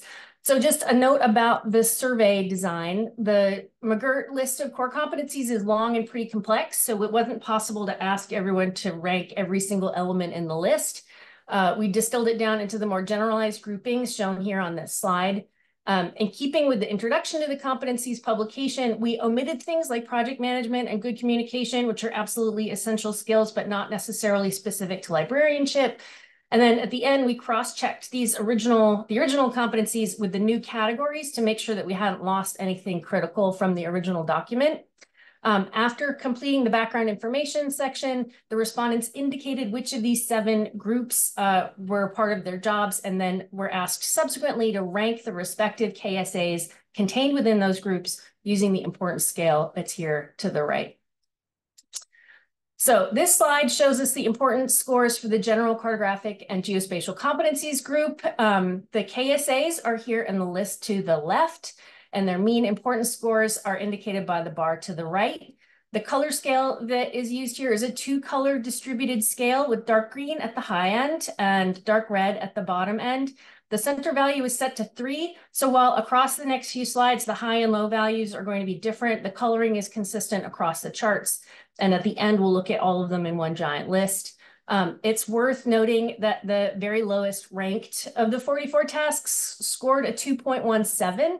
So this is an activity that 24 respondents indicated that they performed, and that's 34% or roughly one in three people who took the survey. Um, so even the lowest ranked things are uh, still considered to be somewhat important.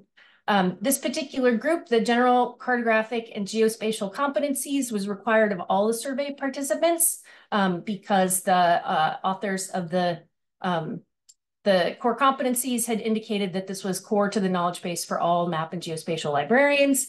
And so looking at the results here sorted by the mean at the top, we have geographic and cartographic principles or basic knowledge about maps, followed by ways of finding authoritative information about cartographic resources. Uh, as I go through these slides, again, in the interest of time, I'm just going to touch on the top ranked uh, things in most cases. So the sections that follow are in alphabetical order by the name of the responsibility group. Um, for access and use of technology, the top ranked KSAs were use of GIS programs, both cloud and desktop based, and use of web mapping and geospatial web services and their data sources. Um, KSAs related to the use of GPS technology were ranked lowest. For cataloging and metadata creation, all of the KSAs scored above three. So it's maybe unsurprising that the metadata folks who wrote these core competencies characterized their job duties with really high levels of accuracy and specificity. Uh, another factor may be the fact that these jobs have a more narrow focus than some others in academic map libraries and also maybe more consistent sets of responsibilities across institutions. Um, so the top two KSAs for cataloging and metadata creation were metadata creation and cataloging. In the collection development and management group of responsibilities, the top items here are assessment and analysis of collections um, and the ability to organize cartographic resources with policy development and compliance and weeding scoring lowest in this group as these are responsibilities handled by fewer people, generally speaking. For outreach and engagement, the top ranked KSAs were promoting awareness of geospatial uh, resources, events, services, and other offerings, participation in conferences, and the ability to produce library programs, and digital exhibitions, physical, physical exhibitions, and managing social media were scored uh, at the low end. For reference and instruction services, the ability to um, uh, conduct reference interviews were at the top. Again, this is a section where all of the KSAs were ranked over three. Um, so reference interviews and knowledge of discovery tools, followed by creation of instructional material and providing one-on-one -on -one instruction were at the top of this list. And then the final category, research support, um, we have just one KSA that scored over three, and that's the ability to perform research consultations. So this is the entire list, and it's difficult to read the individual rows in this view, but you can see the overall, there's a lot of green. The individual scores were all fairly high and indicating that um, the respondents engaged in these areas of responsibility consider all of them to be at least somewhat important. Okay, so now we're going to look at this in a slightly different way. Um, and here we've sorted the importance list, uh, the, the entire list by the importance score so that we can look at trends across the groups. And on this slide, we're looking at the top 15 competencies. The uh, KSAs, again, are in this list to the left, followed by the mean bars, which in this view have been color-coded to indicate which responsibility group they belong to. And the legend for that is here in the upper right-hand corner. Um, there are a couple of additional data points in this chart. In the center column in warm gray labeled DNP, this is the number of respondents who selected do not perform for each of the tasks. And the column at the far right with cool grays shows the total number of respondents who assigned an importance level to the task. So just as an example, looking at the first one, uh, the, the top one here is ability to perform research consultations. It's purple because it's part of the research support group. Uh, zero people indicated that they do not perform it, and 54 people ranked the task, uh, gave it an importance score.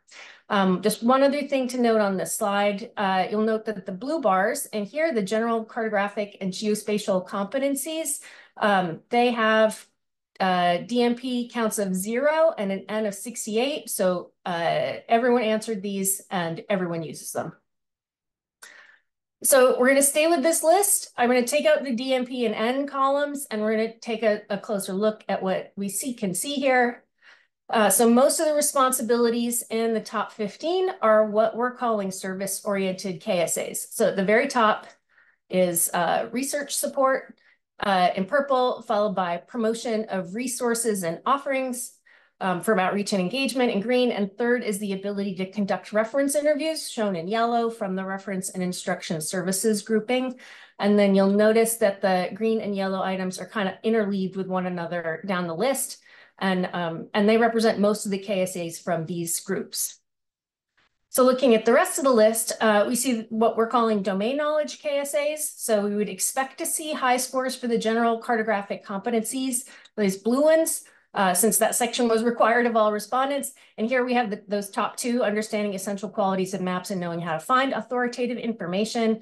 And then the other thing to notice here uh, is the cluster of red, which contains the top four cataloging and metadata creation KSAs. So what we see is that nine out of the top 11 competencies, I didn't do 10 because uh, 10 and 11 have the same score. So nine out of the top 11 are service-oriented KSAs of the kind typically included in an MLIS degree program. And then these are closely followed by or associated with specialized domain knowledge. All right, and then just a moment looking at the lowest scoring 15. At the bottom of the list is the task I mentioned at the beginning. This is managing social media accounts in the outreach group. 27 people selected do not perform, and the 24 who ranked it gave it a mean score of 2.17. Um, also in this list, we see the rest of the research support group. So they were, there was the top one, and then all the rest are in the bottom 15. Um, and the rest of the geo, the general cartographic and geospatial competencies, these blue ones, four tasks from access and use of technology, that's the orange uh, section here. And then collection development and management, which is this aqua color, mostly scored in the middle of the pack. So they didn't turn up on either the top or bottom lists. And uh, just another note about the do not perform. These are the top things that people said they didn't do. Managing social media accounts, managing GIS software, hardware, and licensing, teaching credit hour courses, supporting grant work, transforming geospatial data formats, knowledge of and maintaining GPS technologies, and managing websites. So a little bit of summary in the moments that we have left. Um, so the, the competencies are in fact core. Um, the importance ratings provide validation to support the inclusion of many of the CCs into curricula. So um, limitations posed by course structures and student capacity, of course, require instructors to focus the syllabuses on only the most foundational and important KSAs, but these survey results can potentially inform which topics get prioritized for inclusion in those programs. So an MLIS uh, degree is a great foundation since nine out of the top 11 KSAs are typically covered uh, by uh, MLIS or MSIS programs. Um, it can be assumed that specific geospatial examples or use cases are rare in a lot of those programs, but nonetheless, it appears that an LIS education can provide a good foundation for these roles. Um, so libraries uh, should continue to prioritize this degree in hiring for the positions. Um, the field should also, of course, continue efforts to support early career map librarians in building KSAs in those domain-specific areas uh, that they're less likely to encounter in their uh, master's programs. And again, just to sort of emphasize that, the importance of the role of professional organizations.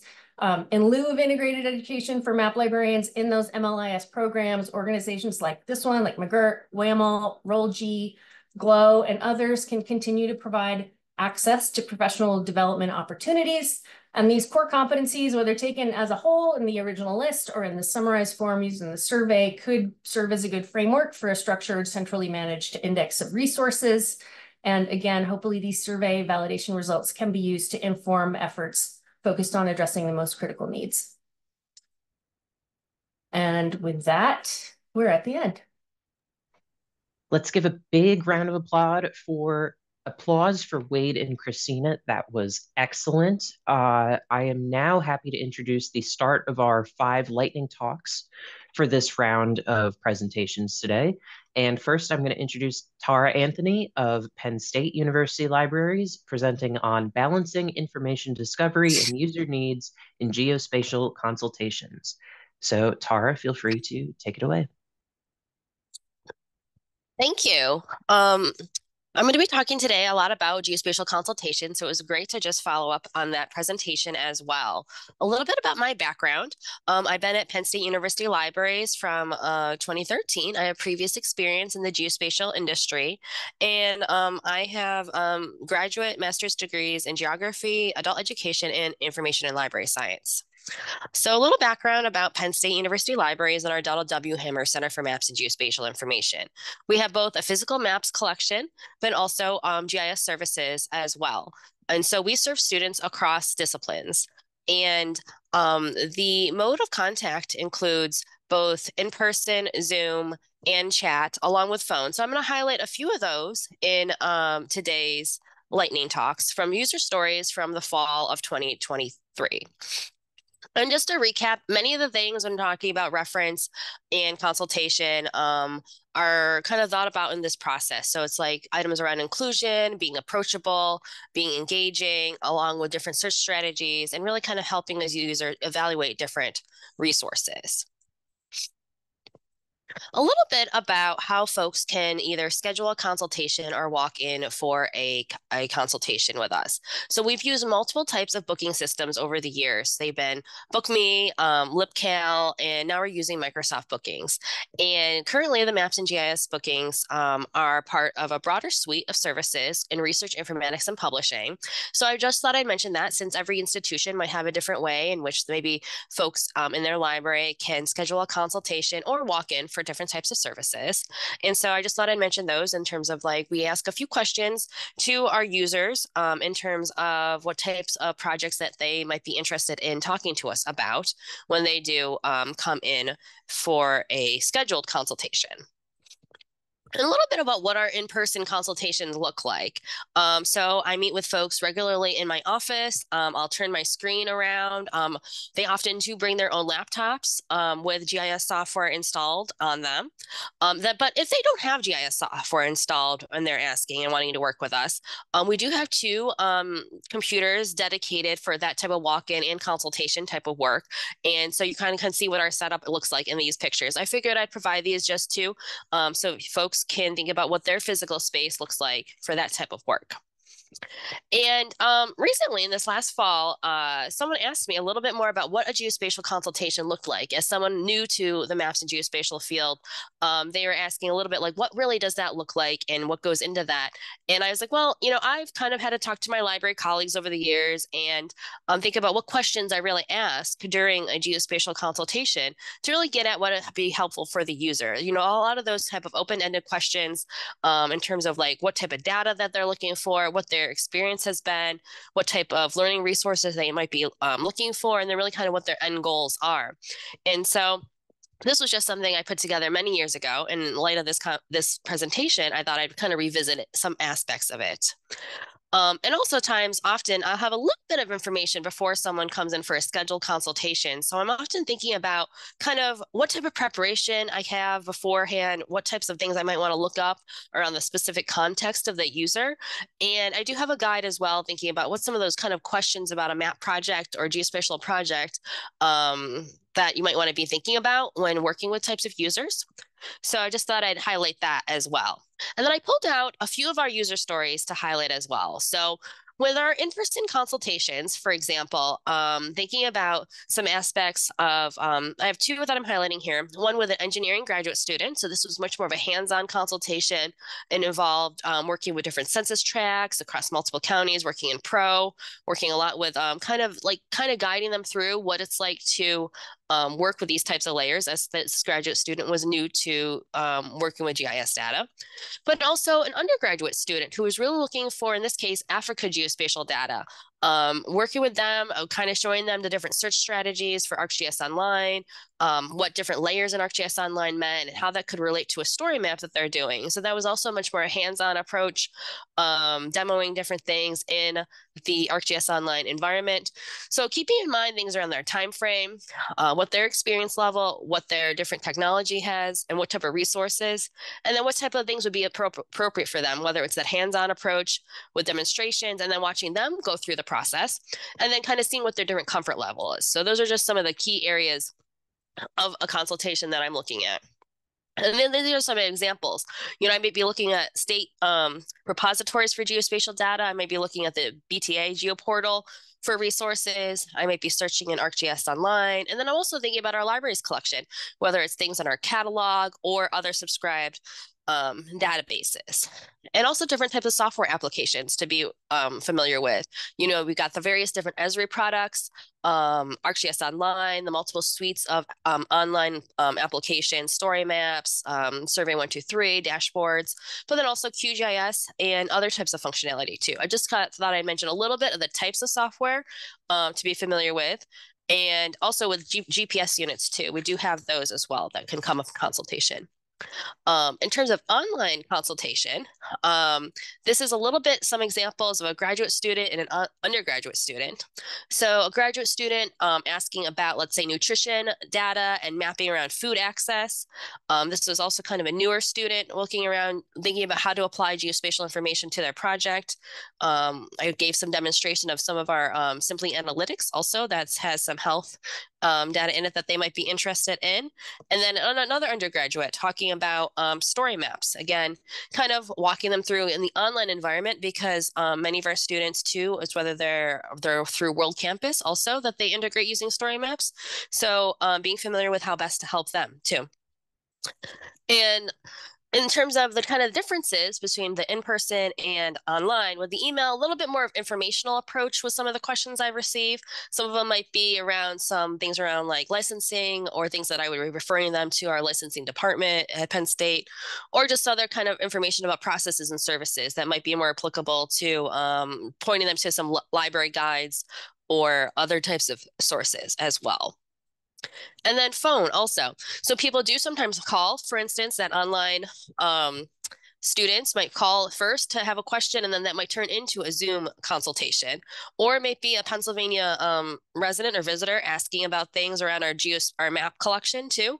Um, so i gave an example of that also. So someone looking for sanborn fire insurance and maps and then talking to them again kind of through a dialogue approach to really get at what they're looking at um, so I just thought I'd mention a little bit. Many of our library guides are things that we put together over the years that could have been helpful either through our consultations, our instruction, and really can cover a broad range of topics. So whether it's the particular software, uh, remote sensing, or other types of map resources as well. And sometimes I'll pick different parts of these when I am working with someone to highlight to um, refer them back to.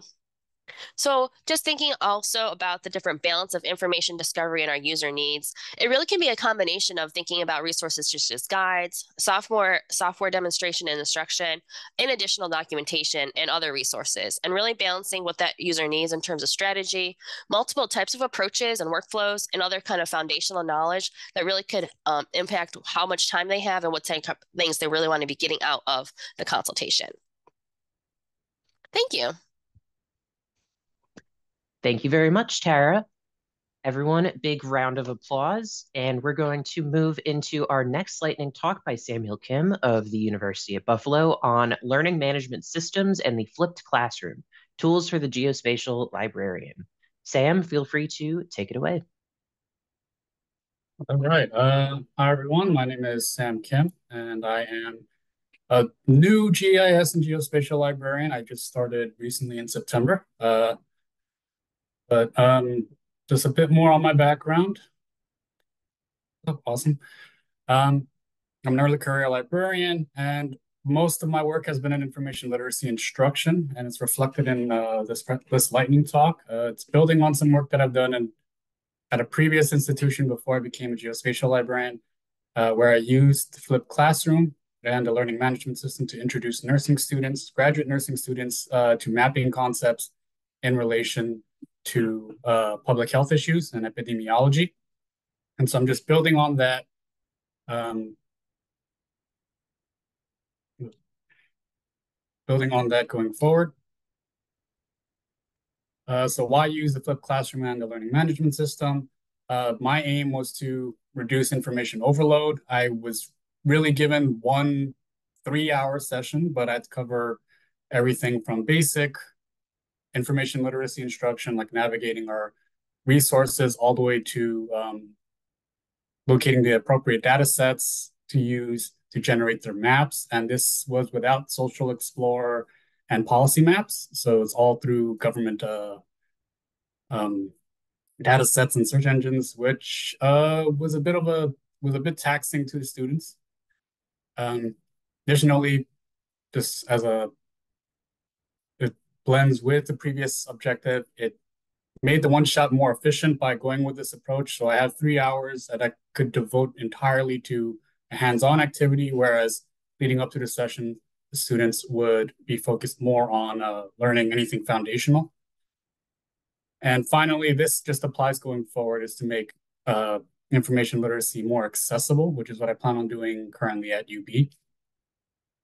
Uh, so some background on uh, the flipped classroom.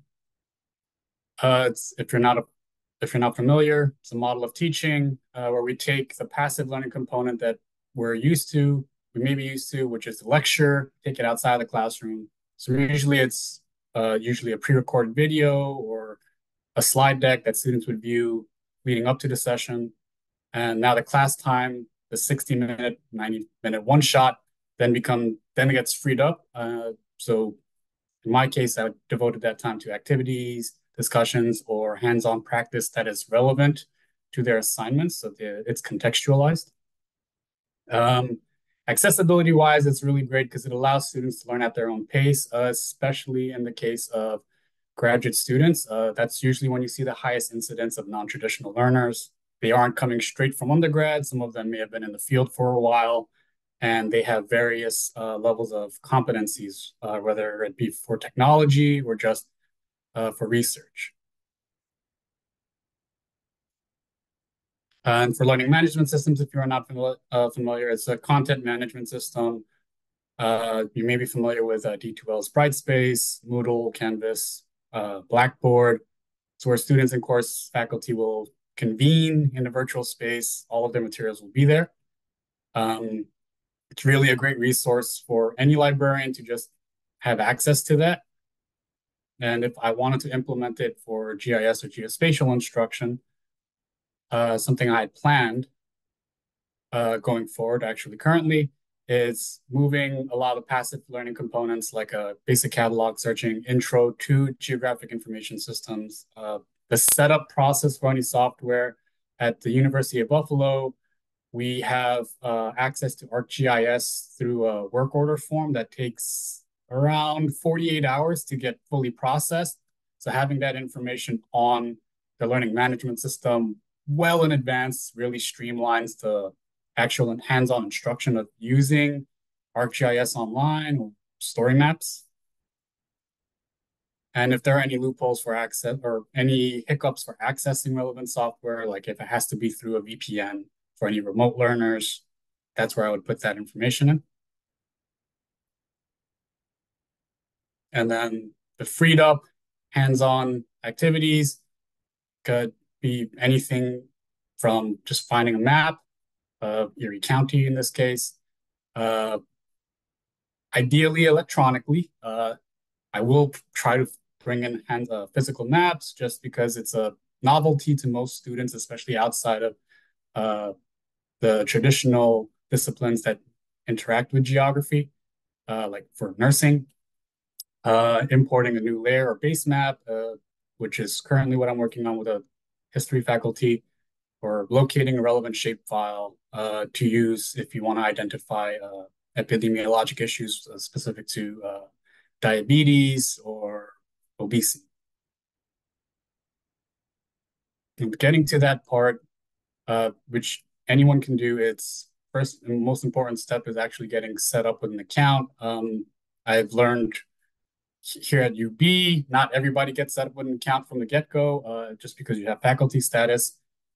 They have to set you up. Um, so really reach out to your academic technology department or university IT.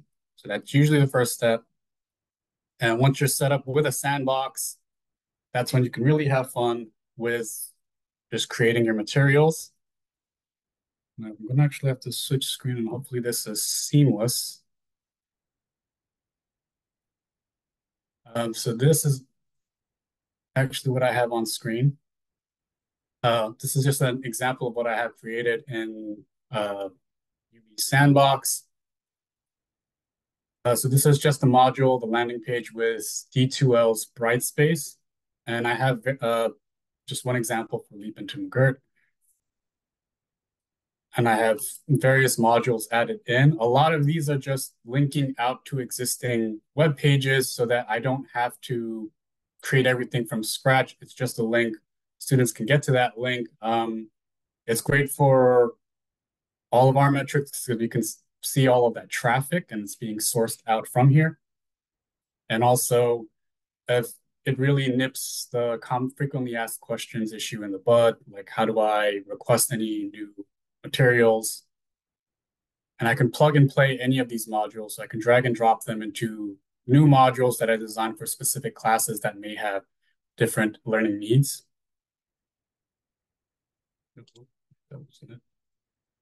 And this is just one such example where it's just intro to GIS. Back. Um, so, so some tips for doing, uh, implementing a flipped classroom with a learning management system. Um, offer your services as an embedded librarian, which is what I've done. Um, you don't have to reinvent the wheel. You can reuse existing material, just pop them into your learning management system. And especially for junior faculty or new librarians, if you want to build rapport, attend those uh, faculty orientation workshops where they teach you the learning management system. It's a great way of building a relationship with other junior faculty and establish new uh, relationships. Uh, these are just some of my future goals, but I'm gonna have to skip through that. Um, and uh, thank you. Thank you very much. Great presentation. And we're going to move to our next lightning talk by Julia Guy and Renna Truong of the University of Calgary, both of them, on using Esri web maps for digital map discovery. Feel free to take it away.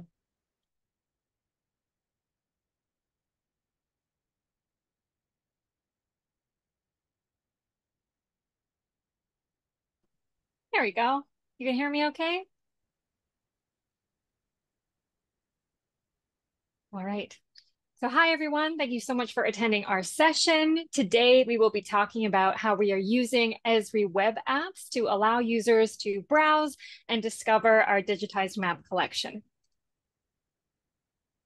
So we'll start with some introductions. Uh, I'm Julia Guy. My pronouns are she, her, and I am the Digital Projects Librarian GIS at the University of Calgary. And I'm Renna Truong, uh, pronouns also she, her, and I'm the Data and Geospatial Resource Specialist. So we are part of Spatial and Numeric Data Services, which is a unit at Libraries and Cultural Resources at UCalgary. Uh, we're located in Calgary, Alberta, Canada. So Martin's not the only Canadian.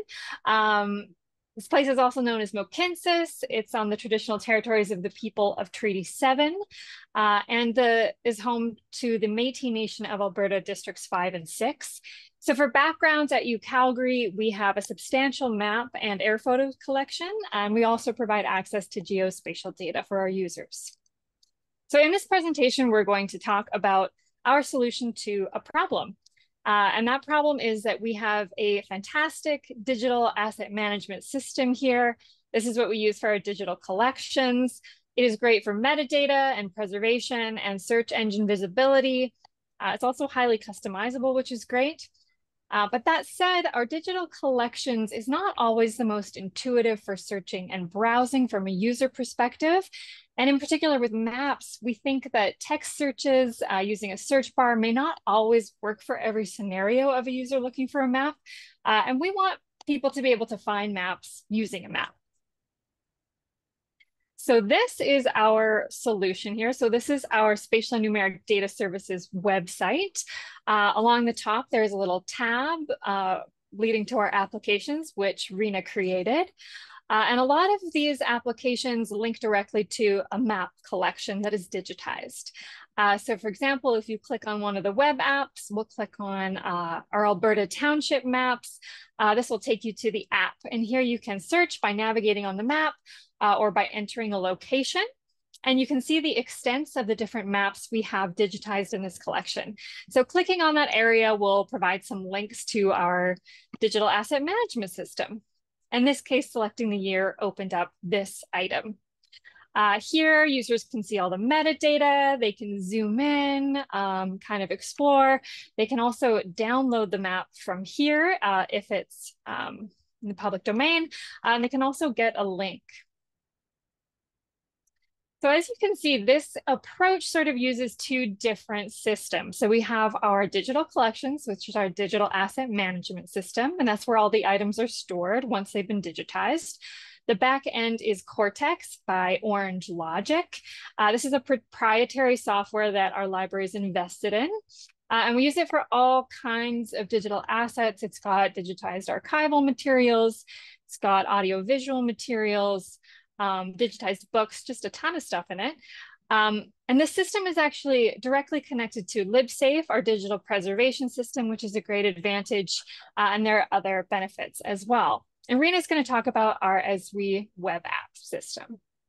Uh, thanks, Julia. Our educational license with Esri allows us to leverage many of our uh, of their products, such as Web App Builder. All 13 of our deployed apps are built using templates from Developer Edition of Web App Builder with some minor uh, customization. These apps were developed to aid the discovery of some of our materials from going from our web map or going from our maps to air photos to spatial data collection. Um, going into a few examples, um, here on the left side uh, is a comparison of our DAM and then to our Esri web app on the right. On the left, um, you can see that it's a single map with metadata attached, viewing downloading capabilities. On the right, the extent of each map in the Alberta Township Plan collection is visible on the map. Users can use this map-centric tool to quickly obtain the resource they are after by navigating to the place of interest or clicking on the feature. And then once clicking on the feature, uh, brings up a pop-up window with many years, um, well, if available. And you can see in this example, there are three maps um, for that particular township. Um, so going into another example, uh, this one is our Esri web app for our digitized air photo collection displaying air photo centers. This app is slightly different than the township plans. It includes a filtering option which is the panel on the right, where users can narrow down what they're looking for by date and scale. In addition, the pop-up window for each feature contains an image preview. Um, so if you click on that preview, it forwards us to our DAM. Um, what I wanted to highlight here is the whole air photo set eh, and associating flight line index is also available in our DAM. Um, on the left side, you can click the call number and then it brings you to the window on the right there. Okay, so moving into some of the pros and cons of using Esri web apps and Cortex for a map discovery. Let's start with the pros. Having a map-centric tool does allow users to locate cartographic materials more quickly compared to using a text-based search. Um, in addition, using templates um, to build these apps uh, makes for a faster turnaround time, moving from development to deploying it. Um, as mentioned earlier, our DAM is highly customizable, flexible, and produces and provides great search engine visibility. So having both of these uh, systems in place provides two access points, meaning that uh, our materials would be used more often. So going into the cons, maintaining two different systems can be challenging. For instance, Web App Builder is slated for retirement this summer. So we are migrating to our GIS Experience Builder, but finding the time to do this in-house as a team of two is really tough. Um, our DAM is maintained by the IT group, so working together is very important. Our apps are indexed, so they do come up when you use a search engine. However, you have to know the right keywords. Um, in addition, the apps that we have created are on a main web page, but users will have to know that they are there first um, for them to actually get to it. Um, one additional con is that users can go from our apps to our DAM, but not from our DAM back to our apps. So thinking about our next steps, we're currently wrapping up two map digitization projects that will be published in both systems. We're also going to do some user testing this April just to kind of see how this works from uh, someone's point of view who's not really familiar. Um, as Renna said, we're updating to Esri Experience Builder, always adding more to our online collection. Um, we're also going to explore using the Cortex or digital asset management system for geospatial data as well to see if that would work. So thank you so much. Um, feel free to reach out to either of us if you ever want to follow up. Uh, and thanks for your attention. Thank you both so much. Super great information in your presentation today. And we're going to move on to our next lightning talk. I'm happy to introduce two of my excellent University of California colleagues, Amy Work and Michael Smith, both of University of California at San Diego, on an agile approach to managing a data and GIS lab. Thank you for having us.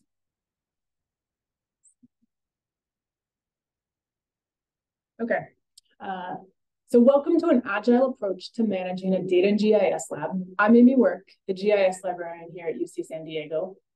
And I'm Mike Smith. I'm the map librarian, and I'm also a subject and reference librarian. We co-manage the data and GIS lab with two other colleagues.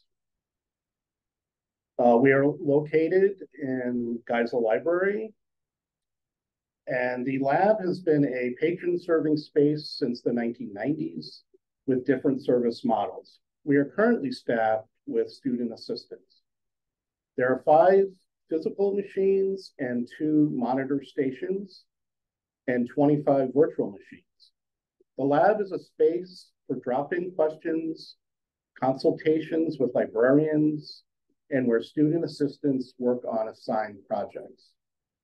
We typically have about four to six student employees every quarter and the lab is staffed uh, 10, 10 a.m. to 6 p.m. Monday to Friday in non-overlapping shifts, and each student works about six to 10 hours a week. There are also four support librarians who are on call for questions. Uh, UC San Diego is uh, part of the UC system. We currently have about 43,000 students, and uh, it's growing very rapidly. um, the campus does not have a geography department. However, we cater to many different departments.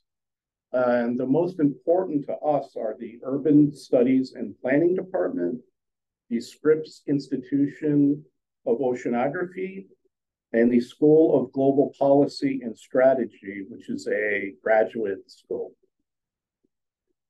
Um, the, the lab is the only space on campus for GIS and data general support, even though there are other labs around campus. Uh, those are closed uh, to those departments. And so really we're taking a look at why Agile to helping manage our data and GIS lab. And it's really developed out of a response to as uh, librarians stopping in to see what students were working on and our students, specifically our student employees and our student employees having more in-depth questions that we weren't necessarily prepared to answer in the two minutes we had between meetings or between consultations. And so we felt like we weren't giving justice to our student employees to help them with their projects as well as help manage uh, the questions that they were receiving from patrons. So what is Agile? Agile is a series of um, values and guiding principles. It's a response to the software development community to what was known as waterfall development, where you're building something, planning, designing upfront, building it, and then developing it and deploying it at the very end. So it's really a mindset or philosophy of values that value adaptability and responsiveness to change throughout the entire process. It prioritizes delivering working software in shorter timeframes, gathering feedback, and making continuous improvement throughout everything. So Scrum is a specific type of agile framework. And what Scrum is built around is it breaks work into smaller manageable chunks known as sprints uh, or work cycles. They have specific roles where there's a product owner and a development team. They have different events, so sprint planning, daily stand-ups, uh, sprint reviews, and sprint retrospectives. They have artifacts then, so backlogs of what is to happen in the sprint and, and the product as well that help guide the overall development process. And so, right, thinking about software development and how do we apply this to our data and GIS lab, we are not an agile uh, operational. We don't do agile with capital A. I'll say we do agile with a lowercase a. So we do not do everything perfectly, and we never will. But we've adapted key pieces to be able to help us manage our students, our projects, and provide better service to our patrons. So what does that mean in terms of agile implementation into the Data and GIS Lab? We have a Trello board that we can help manage all of our student projects. And so taking a look at this Trello board, we have what our project tasks are, our assignments, those are our backlogs. We have what students are currently working on. So at any given time, we can see that students are working on longer term projects. And then we have what are they blocked on or what's awaiting approval from someone else. And then what, what items are done. And so with all of that, we're able to better manage our students with their projects in going forward. Um, we also have weekly virtual stand-ups. So um, those stand-ups, right, stand-ups intended to be you stand around, you have a conversation for 15 minutes and you go. Ours are 30 minutes given the nature of our student employees, right? They're working for six to 10 hours a week. So our virtual meetings are 30 minutes and the focus of those are what are you working on? Are you stuck on anything? Do you have enough to continue to work um, on projects as well as what patron questions are, are coming up? We do have quarterly in-person meetings where we get everyone together to, to create a more cohesive team. We have more formal retrospectives. So retrospectives, we're running ours in Retrium, but there are other platforms out there such as Miro. We run um, retrospectives such as the 4L. So it's asking students to be able to say, what did you like? What did you learn? What did you lack?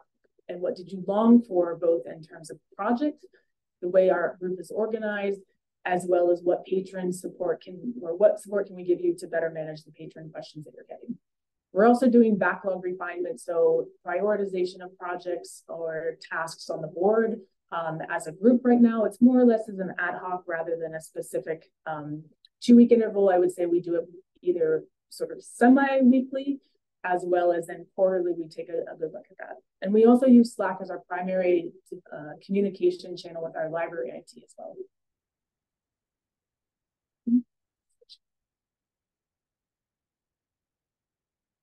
Results. Um, with constant employee turnover, excuse me, our Trello board and weekly meetings makes it easier for students to get into flow of things. Weekly virtual meetings result in a more cohesive group who are willing to support each other. Improved communication through Slack resulted in fewer missed shifts and faster troubleshooting of patron questions. Students are self-starting new projects by adding cards to the Trello board, and retrospectives provide feedback that we can use to make continuous improvements. What's next?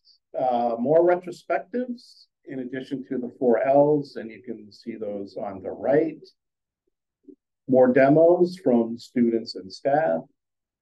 More dedicated time for backlog, refinement, and planning as we adapt, adjust, learn, and move forward to make a better space for students, staff, and patrons. Thank you. The, the, there's our contact email if you have any questions.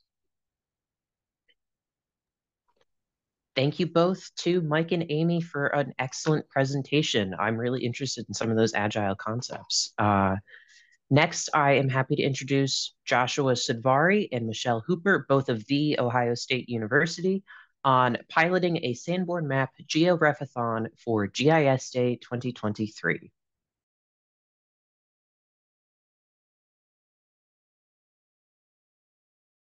Hi, everybody. I'm going to get set here with my slides. Can you see my slides okay? All right. Hi, everyone. Um, I'm Josh Sadvari, he, him. I'm the Geospatial Information Librarian at Ohio State. I'm happy to be presenting today on behalf of myself and my colleague, Michelle Hooper, who is with the Department of Geography and Center for Urban and Regional Analysis here. Um, I'll be discussing a new crowdsourced georeferencing activity that we piloted uh, during GIS Day 2023 sharing some information that hopefully will help others if they want to try it at their own institutions. Uh, in terms of rationale, since we've returned to in-person GIS Day programs over the last couple of years, we really try to focus on events that provide hands-on learning opportunities as much as possible. Um, we called this event the Columbus Sanborn GeoRefathon, and it had both educational and research support value for us. In terms of education, it's an active learning opportunity where we can highlight spatial and data literacy concepts related to data creation processes, such as transforming static digital maps into raster geospatial data. So kind of thinking about the same way that people have used humanitarian mapathons to highlight spatial and data literacy concepts. Um, and then it also provided us with an opportunity to highlight Sanborn maps and their potential value for historical research projects. Uh, in terms of research support, we also wanted to explore the feasibility of a crowdsourced georeferencing model for producing useful data sets in a scalable way. This is of interest for supporting historical GIS projects, such as the ongoing Ghost Neighborhoods of Columbus project, led by Ohio State Center for Urban and Regional Analysis. For this event, we used the oldinsurancemaps.net platform, which was designed to support crowdsourced georeferencing of Sanborn maps from the Library of Congress collections. I'm not going to go into too much detail about it, but I'll highlight the aspects of this workflow most relevant to organizing a georefathon. In our case, this was preparing individual map sheets and georeferencing the prepared documents, which were the tasks carried out by participants. So in the platform, once a Sanborn volume has been loaded, all of the map sheets will initially be categorized as unprepared. Users can select an unprepared sheet to examine in the splitting interface. And if the sheet depicts only one contiguous area, users can choose the no split option, a no split needed option and move the sheet into the prepared category. However, if a sheet depicts multiple non-contiguous areas, users can draw cut lines to split the sheet into separate documents, each of which will then move into the prepared category. And this image shows a map sheet, number 643 from a Sanborn volume um, that has two non-contiguous areas that will be split into separate documents along the yellow lines. Prepared documents can be opened in the georeferencing interface, and it helps if event organizers georeference the key maps for a volume ahead of time because this can be displayed as a reference layer before a user starts georeferencing. So in this image, I've panned and zoomed the key map in the pane on the right to the approximate location of the document displayed on the left based on the sheet number. And then after toggling off the key map, users can add control points for georeferencing by adding a point to the map document in the left pane and then adding a point to the corresponding real world location on the base map in the right pane. When three control points have been added, a semi-transparent overlay appears, making it easier to add more control points. Once a user is satisfied with the results, they can submit the control points and the document moves into the georeference category. There's an optional trimming step to eliminate overlapping margins between sheets for a seamless mosaic, but during our GeoRefathon, we only had participants work on preparing map sheets and georeferencing the prepared documents. But I should mention that once a, an individual map sheet has been georeferenced, it can be it becomes available for download as a GeoTIFF or to be used as a web service. And then once a um, mosaic for a volume has been trimmed and prepared. Similarly, it becomes available for download or use as a web service. So that's a really nice feature. Um, to prepare for the event, we met with Adam Cox, the platform's developer, in mid-September to discuss our plans, and Adam graciously agreed to load the requested volumes for Columbus uh, 1950 and 51 um, in support of our event and provided us with a lot of other valuable tips following his advice. We georeferenced the key maps ahead of time, used the classify layers functionality to mark them as key maps so they were available as reference layers for participants. Uh, the GeoRefathon facilitators also familiarized ourselves with the documentation on preparing sheets and georeferencing the documents so that we could answer participant questions on the day of the event. Um, we had two sessions, and across the two sessions, we had 30 unique participants. Each session started with a 30 minute presentation providing basic information about Sanborn maps, the georeferencing process, and tips for selecting control points, and the Ghost Neighborhoods Project as an example of research using georeferenced Sanborn maps. Mm, we also covered account setup in oldinsurancemaps.net and a demonstration of the workflow participants would be carrying out during the remaining 90 minutes. Um, overall, I, I, think the sessions went really smoothly. We, we, we focused our work on 1951 volumes one, two, and three. And during the three total hours uh, of hands-on time across the two sessions, participants prepared and georeferenced 233 out of 313 map sheets and carried out the preparation step for another 53 documents. So we were really impressed by the amount of work that was accomplished in such a short, short time with mostly brand new users to the platform. And that's what you can see in this image. Very few of the participants indicated they had used or even heard of Sanborn maps before the GeoRefathon. So I think that illustrates the awareness raising aspect of these types of activities. And during the afternoon session, I also had an impromptu consultation with a participant about how they could use a desktop GIS to georeference a different scan map for their graduate research and a similar consultation with a different participant about two weeks later. So it was nice to see that people were making connections with their own research, even if they wouldn't necessarily be using Sanborns or this particular platform directly. Um, in terms of after the event, the number of georeference maps for 1951 volumes one through three has risen from 233 to 299, indicating some users continued work on their own afterwards. And also shortly after the event, the facilitators received an email from one of these participants noting that they were also adjusting control points for some of the maps where it looked like participants had georeferenced the sheets to the key map rather than the modern base map um, despite our instructions, and they just wanted to alert us for quality control purposes. And so, in terms of like takeaways, I I think that participants in these types of events will take away different things. Um, but there's an educational value in highlighting historical map collections and the availability of crowdsourcing platforms like oldinsurancemaps.net that they may go on to, to use on their own.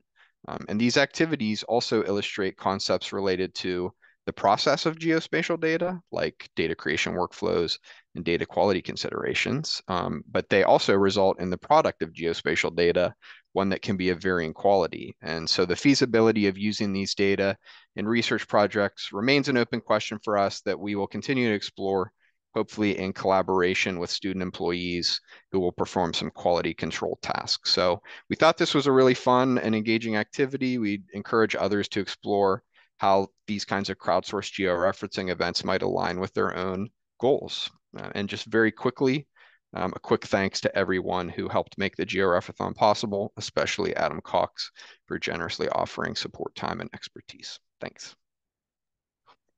Thank you so much. And I would love to give a big round of applause to all of our presenters in this session. Uh, all of these fabulous. I have learned so much, and I'm sure all of you have learned some new things as well.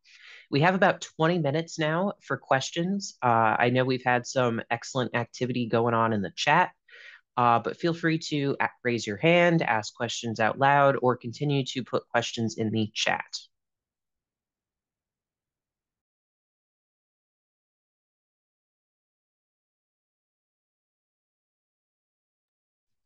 Yes, John.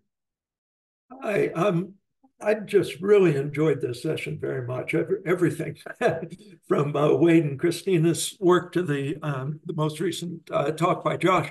Um, my question is for Wade and Kristina, and I didn't really dig down in deeply into the categories that you all covered in terms of core competencies, but um, so I'm my question might be um, based on inadequate knowledge. But one of the things that I've been finding as a, a, a big demand is kind of an intersection with data services and data science that I've been um, running into. And the consequent expertise that I've been asked for and the library functionality I've been asked for is really about data management and data curation. Um, you know, being able to set up web portals, uh, being able to support um, NSF grant proposals with sustainability statements and, and that sort of stuff. Has that come up in your work on, on updating core competencies? Uh, well, thanks for the question, John. And Kristina, I'll just take this real quick.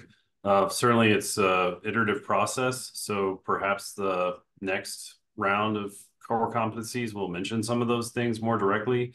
But since it comes from the you know the ALA roundtable, we're really only validating the ones that people listed in you know 2018. So ah, of course, with new requirements, the jobs keep changing, and uh, hopefully I'm around to do a decade update for a while. But you know, someone someone will. Oh, uh, cool. Uh, well, I, will keep in informal correspondence with you on that way because I'm.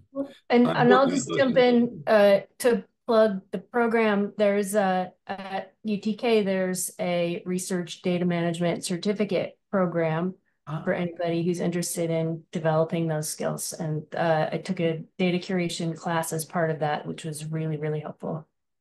Well, and I must say, I was really inspired by our colleagues from Calgary. I, I, I thought those are, I'm, I'm at a small college, so I need quick and dirty solutions for just throwing up data portals and whatnot.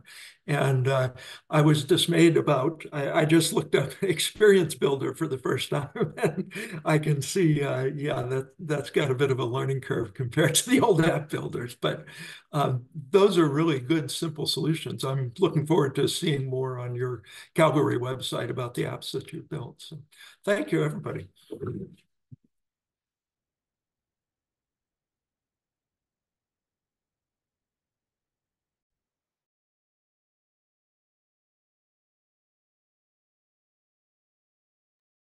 Yes, Mike and Amy.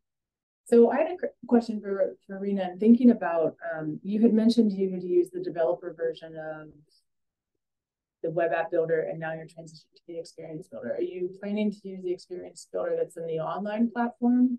Or I, I guess I'm curious of like, I know there's many platforms and if you can speak of like why you chose to use the developer version and what your thoughts are in moving to the experience builder. Um, yeah, I should have clarified. Uh, we are going to use the developer edition uh, experience builder. So it will be on our own server. Um, so before I went into the library setting, I was with facilities and IT, and it required a lot more customization of the apps that were being built over there. So when I came here, I kind of brought that knowledge with me. And then as I gotten through more projects as uh, in a library setting, I noticed that they weren't as complex. So it's a little bit of an overkill being on the server, honestly. Um, but you know, gives us a nice URL to pass around. We can put our own logos on it. Uh, we can tweak the colors to University of Calgary colors. Um, I do some minor modifications of some of the widgets. Um, you know, maybe I don't like the placement, the logo, something like that, but nothing too, too complex. But I like the flexibility of having it on the server just in case we do need to build a custom widget someday. Mm-hmm. Yeah. Thank you.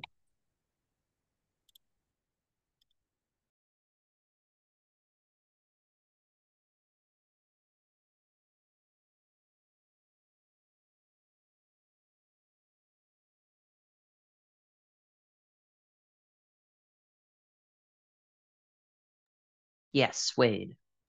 Yeah, sorry. I know we're um I want to make sure there's time for everyone to ask questions, but I was just so curious with all of these talks, like how much of this shows up in the job descriptions? Was anyone hired to do the kind of things we're having to do?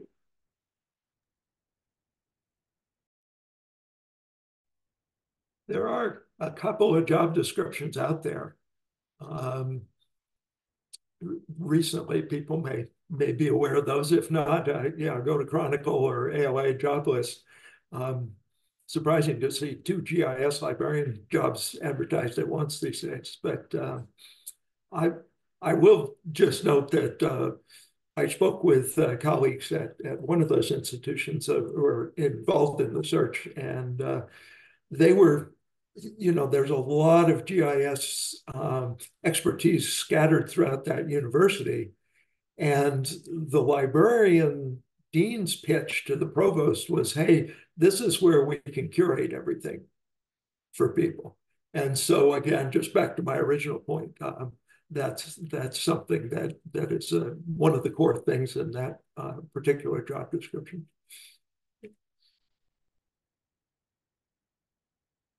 And I've, I've found a similar sort of thing in my own experience at, at Lafayette College is that people in environmental sciences and our engineering division, civil and environmental engineering, they have good GIS training uh, as early as graduate school, if not undergraduate.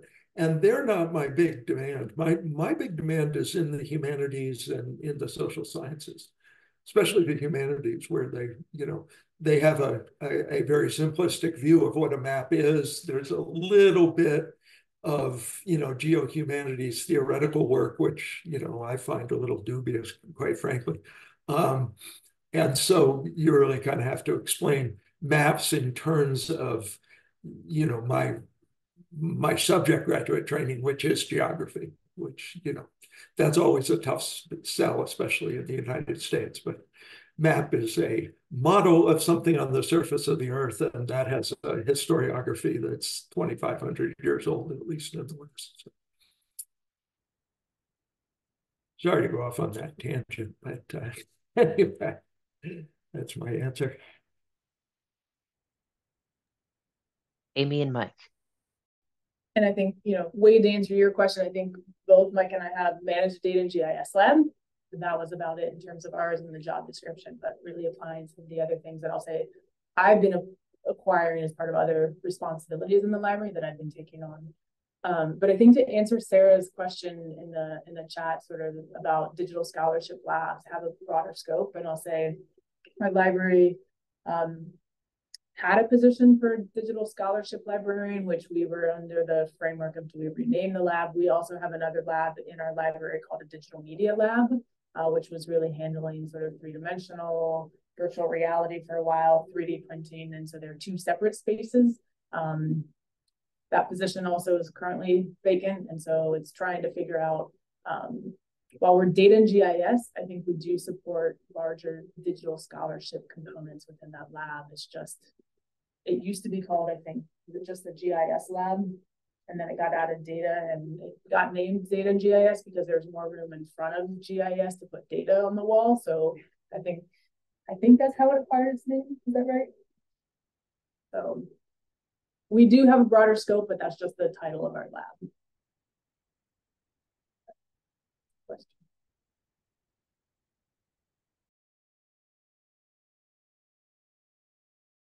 And I have another question I'm going to ask um, Josh and thinking about you've done that uh, the georeferencing-a-thon. How many times would you do that, right? Would you, like you've done it? Um, would you do? Is that something that you would do once a year? Would you do it like more times a year? Like given the amount of right like lift that it takes to get to do events, but also then the return on investment that you got. Like, what are your thoughts around that? Yeah, so I, I will say that since we did it uh, on GIS Day, we tried to do another one during Love Data Week, and it was much less attended. I, we only had about four participants. We were working on more difficult areas of the city where there was a lot of development, so it didn't go as smoothly as the first one.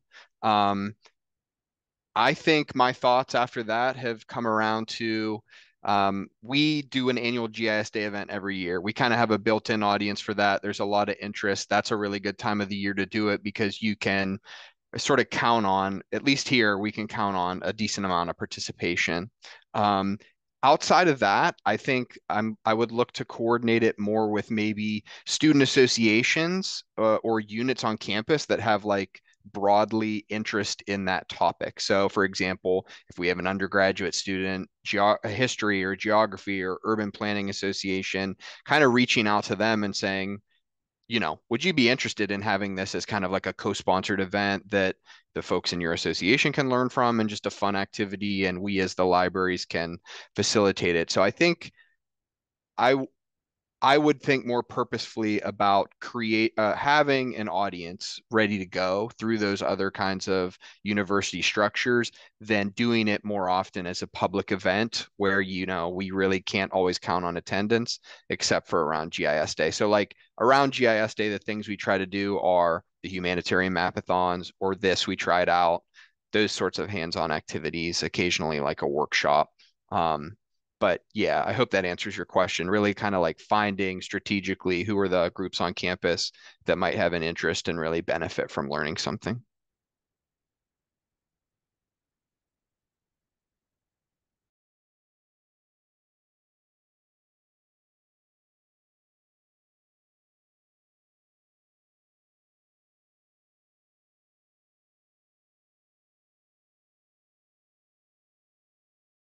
Any other questions, comments, thoughts folks want to share? We have about 10 more minutes before we'll take a short break before uh, session three starts.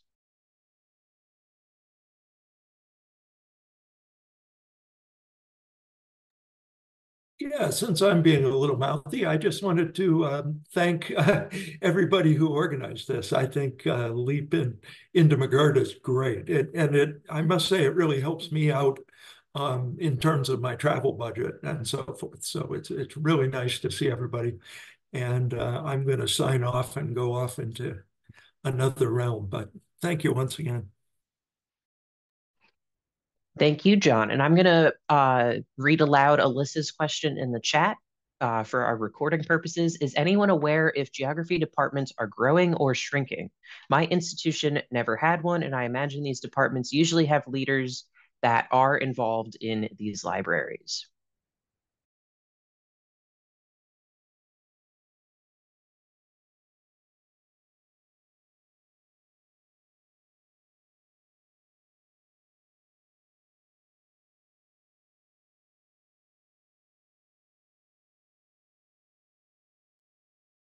Looks like a good area for research.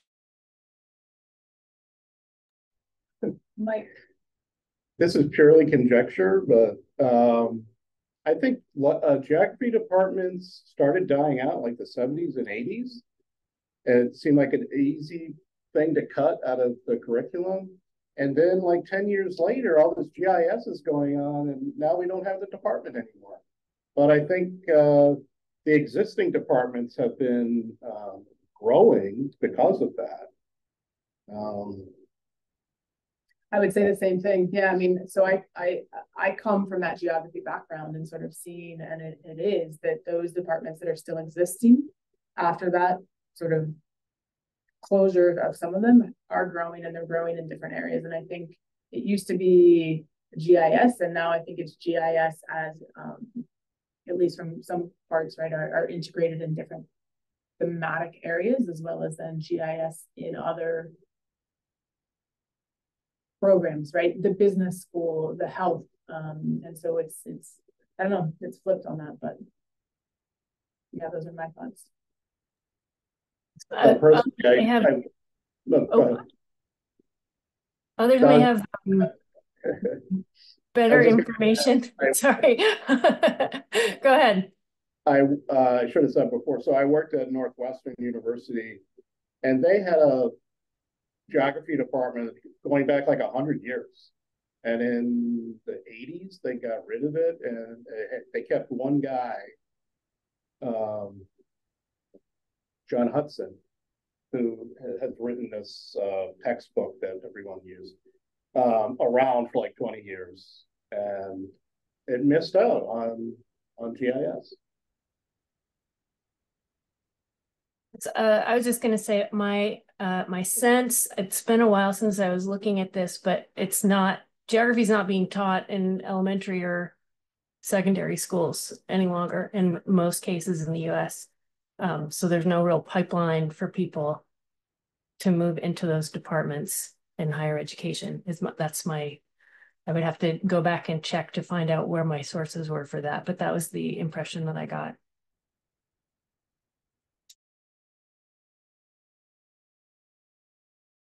And I'll just add too that Tara has linked what looks like a pretty interesting article in the chat from December 2022 about the state of geography, data and trends in higher education. So that looks like it's worth a read. And I, I thought I'd add a, uh, a little nugget from I learned as a grad student. It's the, the historical origin in the United States was um, Harvard uh, getting rid of its geography department in 1945, right after the war. And it was all part of a personal scandal. There was actual, you know, very complicated personal story. But what I understand the upshot was is that the geography department in 1946 basically up stakes and were all hired by Clark. So um, Clark's geography department is actually a legacy of, of a lot of people from Harvard. And uh, you can read that history. It's kind of shocking. Uh, I don't have a link to it right away, but and uh, yeah, and it, it was ironic that I think Michigan got rid of its geography department around 1980. Uh, Chicago did the same. And uh, on the flip side, there's also a, a role for this uh, technology uh, within more of an engineering and a sciences thing. So at the University of Maine, um, the old NCGIA um, consortium consisted of Maine and Buffalo and Santa Barbara. Maine, however, is not a geography department, it's spatial information engineering. And ditto, Johns Hopkins dropped geography from the title of their department, and it's now simply a, uh, a sciences and engineering department.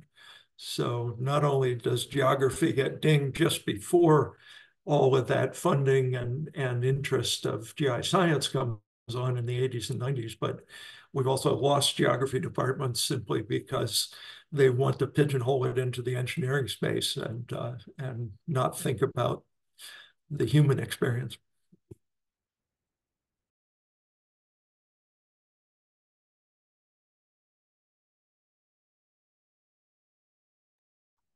We've got just a few more minutes before I want to wrap for break, or we can wrap for break a few minutes early. Uh, any final questions, thoughts, anything folks would like to share out on this session?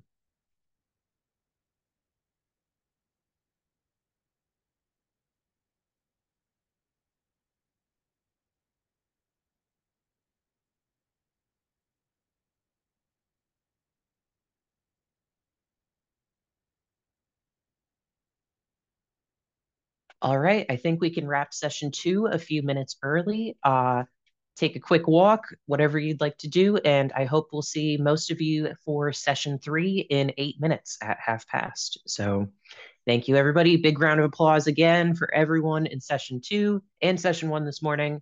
Uh, have learned so much so far, and I hope everyone else is enjoying themselves as well. See you in a few minutes.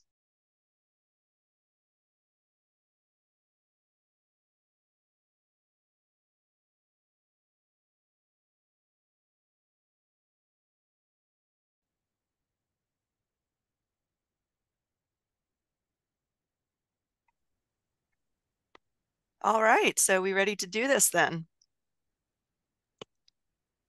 Hello, so. everyone. Okay. Hello, everyone. Welcome back to session three of Leap into MAGIRT. Um, starting out, we have, well, we have a few presentations and one lightning talk in this final session.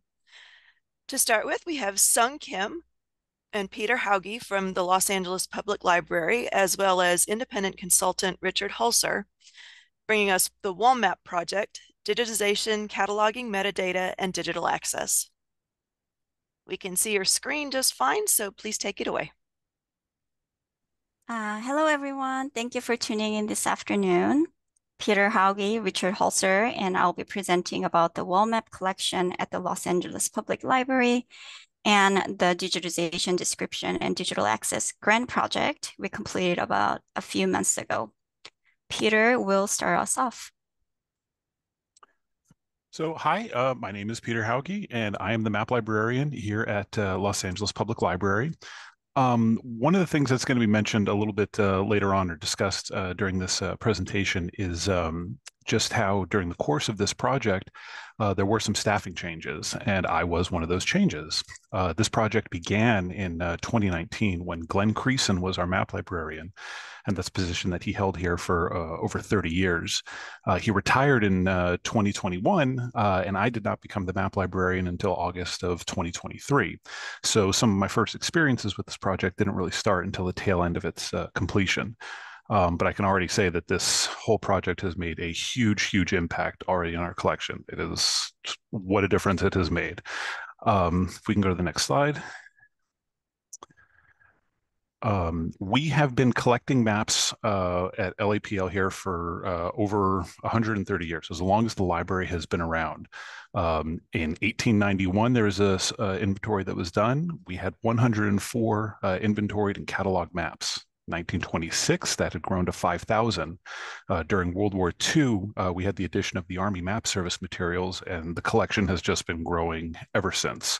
Uh, I believe that we have one of the largest collections of maps in a public library uh, in the country.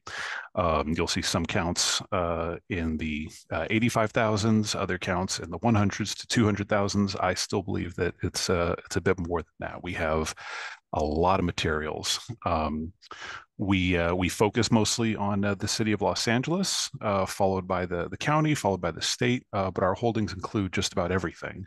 Uh, we have road maps, topographical maps, uh, street guides, Sanborn maps. we have a huge collection of nautical charts. it is a very very broad uh, collection, um, but very few have been scanned. a lot of our uh, core collection or a lot of our uh, really important or useful maps uh, have been scanned or available on our website, um, but uh, but not a lot of them. Scanning is something that uh, is something that we've sort of been easing into pretty pretty gently. Um, if we can go to the the next slide. Um, the big part of our, or an important part of our collection, I should say. Uh, it's a smaller one, um, but uh, of course, we're here to talk about our roller maps. Uh, these are the very large maps that were hung on the walls of real estate developers, uh, urban planners, delivery companies, transportation authorities. Um, these were very valuable tools and very useful maps uh, back then, and they are still very, very valuable tools to researchers today. we have a collection of about 120 wall maps um, and before this project was completed, uh, these maps were inaccessible. Uh, they had not been seen in decades. Even the uh, uh the finding aid that we had uh, was already uh, long outdated. the maps had been moved many, many times, but the condition of them was something that was very apparent. They were very fragile. there was mold on some of these maps. Um, they were they were a, a, tough project to um, or a, a, tough item in our uh, our collection to to really deal with. Uh, when I became involved with this project, uh, one of the first things I did um, was I went to see what uh, Mary Larsgaard has to say about uh, about wall maps. So cracked open my copy of Map Librarianship, and it's very simple. Um, wall maps are the problem children of a map collection. They're big, they are fragile, they're difficult to store. Uh, and this project really addresses all of those issues. Uh, it takes some of the toughest uh, items in a map collection and it's really uh, tackled them head on. Um, these were urgent maps uh, to get uh, to get scanned and and digitized. Um, if we could go to the next slide. Um, these uh, these maps now um, that we that we've made available, uh, they answer some of the most common questions that we receive from both casual patrons and serious researchers. Um, although they were uh, troublesome maps, they uh, are very useful maps. Uh, so it's a wonderful thing that we have them available. Uh, questions we receive are uh, like uh, you all probably get about your map collection, but uh, what were the boundaries of such and such neighborhood or such and such city uh, during this time, uh, during the 1940s, let's say? how far did this street extend and when was it expanded? what did the transportation system of Los Angeles look like back in its heyday? and these were all things that this this wall map collection really addresses. So um, it's it's very simple. A very large map like these can show you a lot of information, and uh, the ability to now study these maps uh, with so much detail and clarity. Um, I think it's really something that has uh, uh done these maps uh, a lot of justice. So Um, it's been a, a, really wonderful project. It has done uh, amazing things for our collection, and like I say, they have just been incredibly, incredibly useful for for folks to use. Um, I'm going to turn it over to to Sung, who's going to give us a little bit more uh, background about the uh, the project itself and just how we went about uh, um, getting this all done.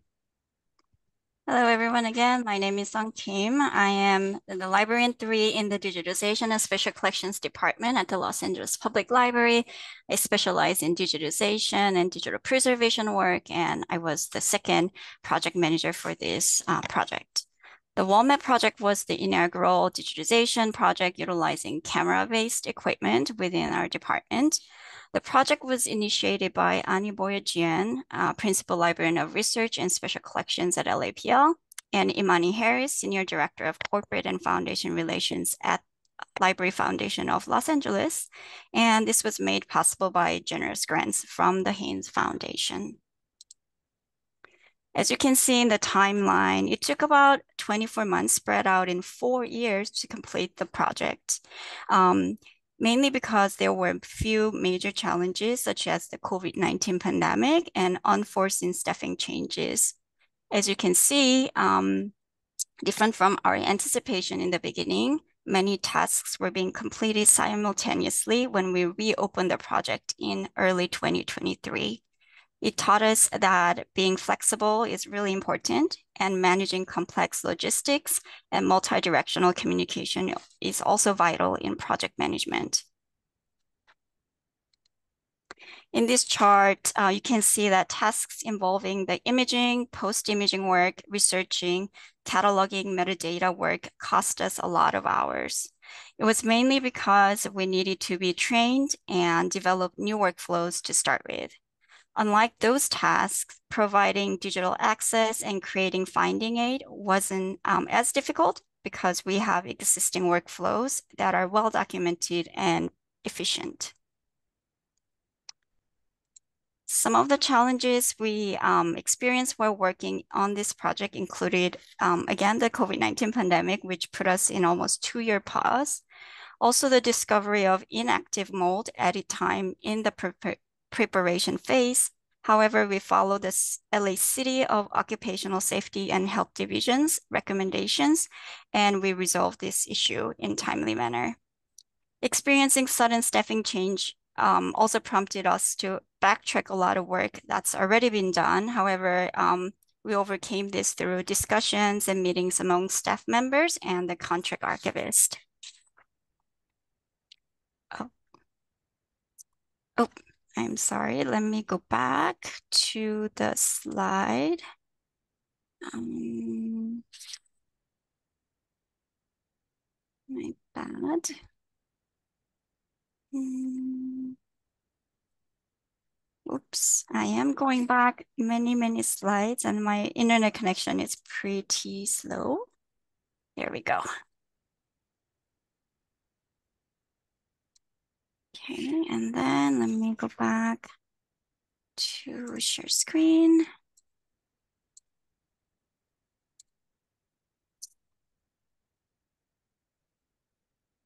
Oh, okay. I'm gonna add a few more uh, uh, sentences about the challenges. Um, the wall maps were in very poor condition and um, the imaging work required multiple staff uh, to handle them at the same time. This posed some difficulties in arranging time to meet regularly to train, have discussions, and do the actual digitization work. Also, some vital information was hidden in the damaged sections of the map, whether they'd be warped or partially cut out. Uh, Richard, our contract archivist, and I communicated virtually about this by exchanging many images about the problematic areas and the um, manipulating them by using Photoshop to bring out less visible information. And lastly, even though the grant project is completed, we still have some more work to do, such as rehousing the maps and preserving the digital files. This will require significant amount of time carved out in the next three to four months. All of the challenges I listed um, can be also be gains for us as we move forward with other digitization projects. First, we can uh, now say that we're comfortable handling and imaging oversizing oversized items and managing a digitization grant project. We have now very well documented workflows and great collegial relationships with staff from other depart departments. Through utilizing multiple software applications, some already familiar, but some new, we can add them to our resume under the technology section. And when we tackle the rehousing task, we'll gain experience in some basic preservation techniques and knowledge in different archival supplies.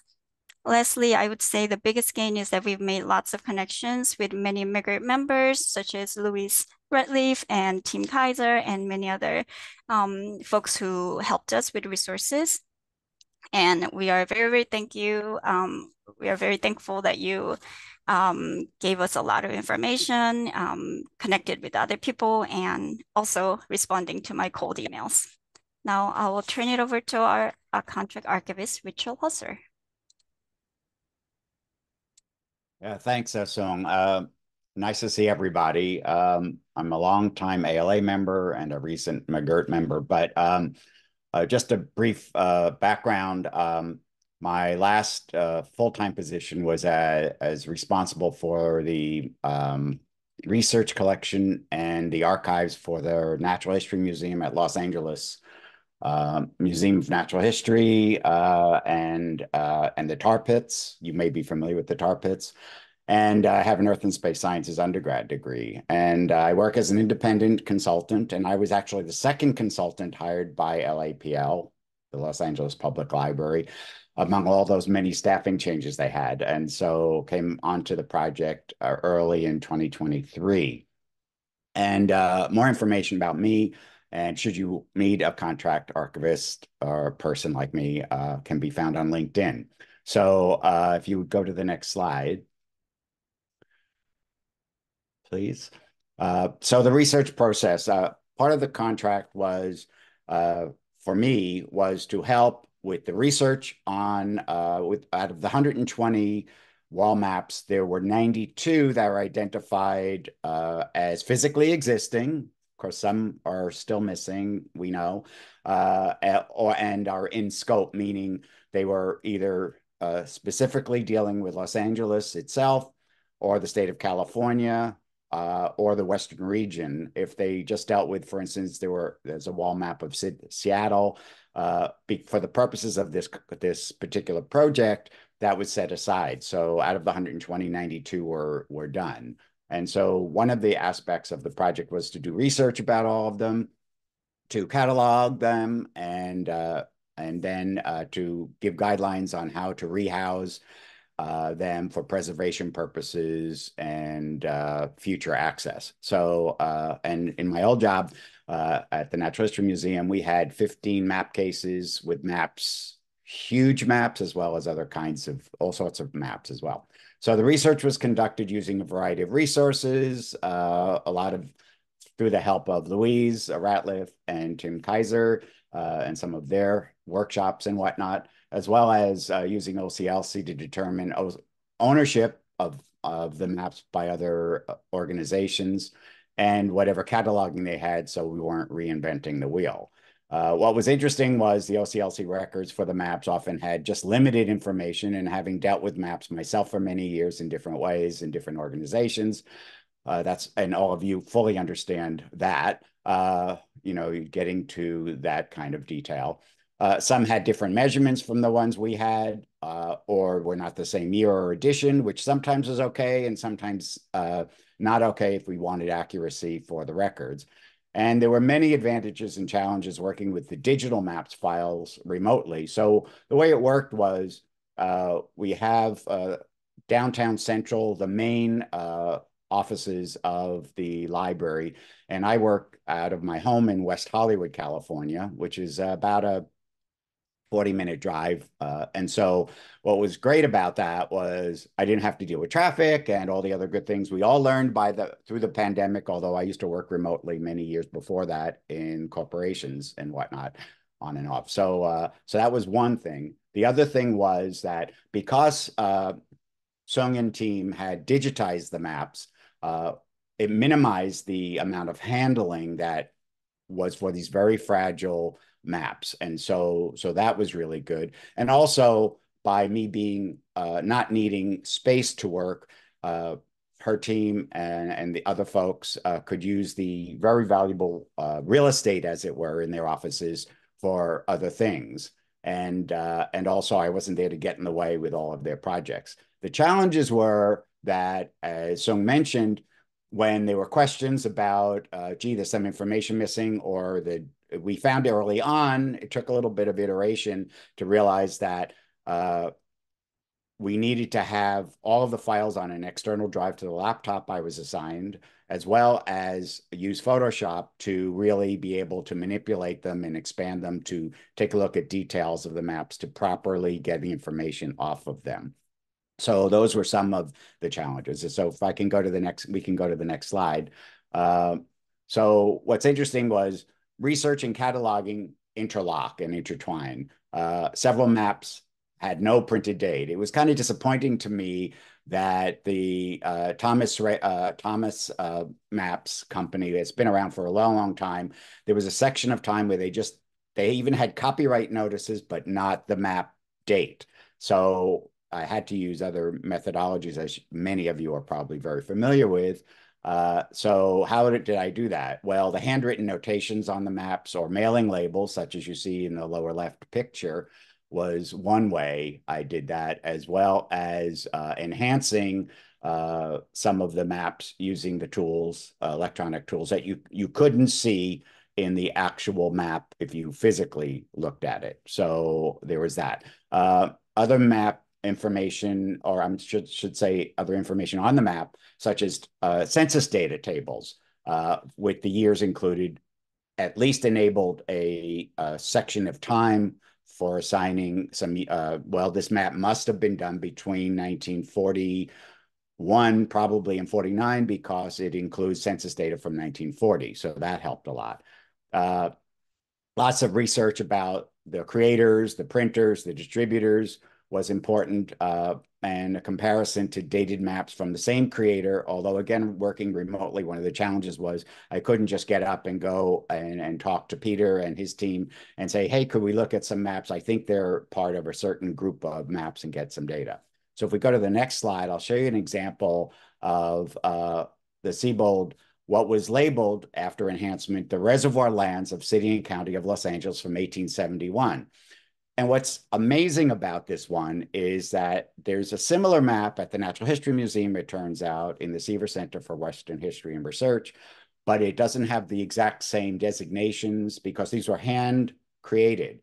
And also the, uh, the fact that uh, we didn't really understand what reservoir lands meant. And it turns out there was a company called Canal and Reservoir Lands. And so this map, which was done by Siebold, um, was of their holdings. And, and if you look closely, as you see on the right, you can see the names of people who held land there. And so Los Angeles in the 1800s was a very, very small and, and low population area. And then with the aqueduct in 1913, uh, and access to water and everything else, the population exploded. And so looking at these old maps and comparing them to newer ones is one justification for why would you spend all this effort and time to work on all of these?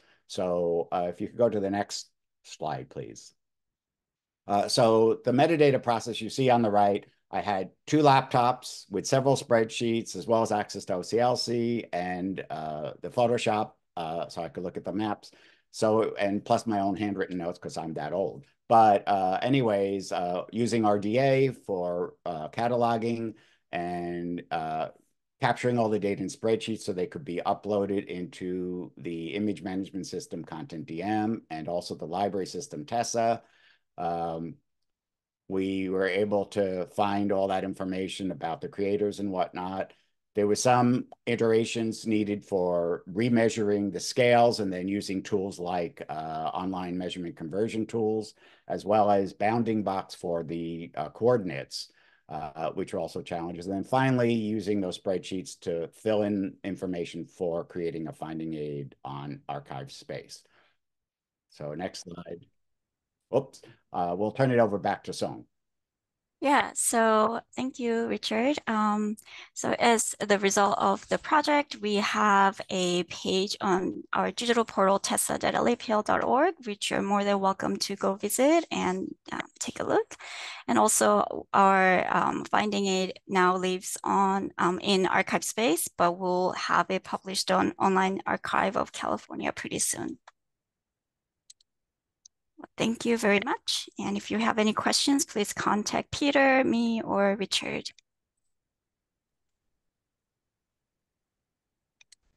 All right, thank you, everybody. We can also handle questions in the chat, and we hope to have some time for questions and answers for everyone at the end of the session. So continuing from LA, up next we have Maggie Tarmy from UCLA with Mapping the Uncharted, Enhancing Accessibility of the Henry J. Bruman Map Collection. Hey, everybody. Uh, welcome back since pretty much all of y'all saw me uh, session two. And yes, happy to be part of our LA contingent that's here. Let me just move all my Zoom windows around. Every time I turn on Zoom, uh, everything just goes psh, but yes, I am Maggie Tarmy. I use he, they pronouns. I am a humanities and social sciences librarian, liaison to geography, maps, and economics at UCLA. It is quite a mouthful. Uh, to get into this, I need to go over some background of the UCLA map collections and my positionality and current relationship to this collection. I started this job July 3rd of last year. This is my first capital L librarian role. I was at UCLA for two years previous to that as a graduate student, and now I am here full time in this role. I have no prior background in uh, maps or map librarianship. I do have an archives background, which has really come in handy working with these map collections. Now, uh, some big numbers here. Uh, I know the map folks here are definitely going to realize this is a big number. And when I arrived, I learned that we have approximately three quarters of a million maps at UCLA held across three separately administered locations. This provides for some really interesting challenges, uh, some really interesting interactions in terms of how to actually answer reference questions, handle teaching, and, and find literal maps in an efficient manner uh, has proven to be quite interesting and is still a system, even seven or so months in, that I'm still learning how to navigate. Really briefly, the three locations we're focusing today on the Charles E. Young Research Library. It's where I'm sitting right now. And that is where the maps that fall sort of under my purview, uh, I joke sometimes it's my tiny fiefdom, uh, reside. These maps are open stacks. Uh, they are global coverage of post 1945 materials, generally speaking, with a heavy emphasis on Southern California, even though there is a global coverage. And then another separately administered location is our geology library with about 100,000 maps across two different locations within the geology library. Uh, the first floor is mostly is the only circulating part of any of these collections. Uh, everything else is non-circulating. And then the second floor has our historical maps collection, which actually used to be located in my library. It moved before I came here, of our pre 1945 historical maps. Shout out Louise, who has been in the chat and is here today. She cataloged all of those. She was our map cataloger, uh, who, luckily for her and unluckily for me, retired before I started but I am so grateful for the work that she has done every day. Uh, it saves my butt in a lot of situations, knowing how strong these catalog records are. then we also have an unknown but many thousands of maps in the Southern Regional Library Facility, or SRLF. That is our off-site storage facility that is actually located on site at UCLA. However, it is not only a UCLA facility, it is for all southernly located University of California campuses. So UCLA uses it quite a bit. It's on the UCLA campus, but it is for all five Southern UC campuses, not just us. So I arrived, I started this job in the summer and I was assigned the maps as a liaison area. And I almost immediately started getting really complex reference questions. As soon as my name popped up as librarian supporting maps on the website, the emails really started to flood in. Uh, I, of course, was asking a lot of questions. I really resonated with Sierra's lightning talk this morning about her first month as a map librarian in Michigan. Uh, I asked a lot of questions. There were not a lot of answers for me. Do we have a collection development policy and can I see it? There is no collection development policy at this time. Am I allowed to purchase maps? There is a moratorium on purchasing and collecting at this time. Uh, where is documentation about X, Y, and Z? A lot of lot of shrugs. So I realized pretty quickly we aren't super sure what we actually have in this collection in the YRL building that I work in. I would try to answer reference questions, and it was really time consuming, inefficient, and challenging. I'd encounter bizarre situations. Uh, I opened a folder labeled American Civil War maps, and inside that folder were maps of Lithuania, Palestine, and the USSR. Uh, that is not the only situation like that that I encountered. I had quite a few of those, partially in, due to having open stacks and partially due to not having a maps specific person. For some time, there was a gap between myself and my full time predecessor who had retired. Uh, and frankly, this is really discouraging for patrons to try to use, right? If I could barely utilize it, as a librarian, again, albeit brand spanking new librarian, but still, I had to imagine it was almost impossible for patrons to actually find maps that they wanted to use. So not only did I want to make my job easier and make research easier, but I realized that there were years of collection neglect that I really wanted to work towards repairing to make this excellent collection as good as it could be.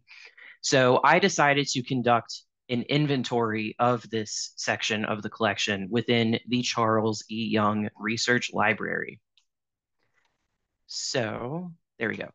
Moving into the inventory process itself. What is it? What does it look like? What are we doing? I want to emphasize this is an ongoing project. We are not done. So part of this is to share an outline for what I've been doing. So if you are interested in doing this at your own location, you can pull some advice and tips.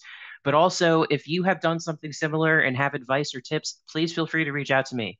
Uh, I would love that. I have loved the support I've gotten from MAGIRT, WAML members. Uh, I'm always here to take advice from folks. And before anything else getting into the inventory process, I really, really want to address labor. Inventorying this large of a collection, or really any collection, but especially this one this large, is so time and labor intensive. Without the support of my two undergraduate student workers, of which they work a combined 20 to 25 hours a week, this project would literally not be possible. My two students who support this work, I really think it's important for me to shout them out, are Veronica, a third year undergraduate studying geography and sociology, and Quinn, a second year undergraduate studying geography and statistics. I think labor and glam spaces really often goes unrecognized and it is my imperative that my students and their labors that supports this important, important project uh, is recognized and that they are recognized for the truly incredible work that they do. And again, I literally could not do this project without them. Uh, so please, big shout outs to them. I am thankful for them every day.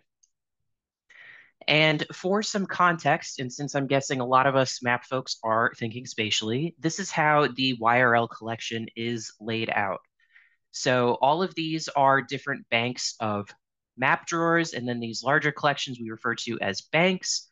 Uh, and then each of these banks are 15 map drawers high for a total of 300 drawers in this left-hand side. And then these are all 10 drawers high uh, which actually also comes out to 300 drawers. So we have 600 total drawers, and virtually all of these are entirely full to the point of pretty much being overstuffed.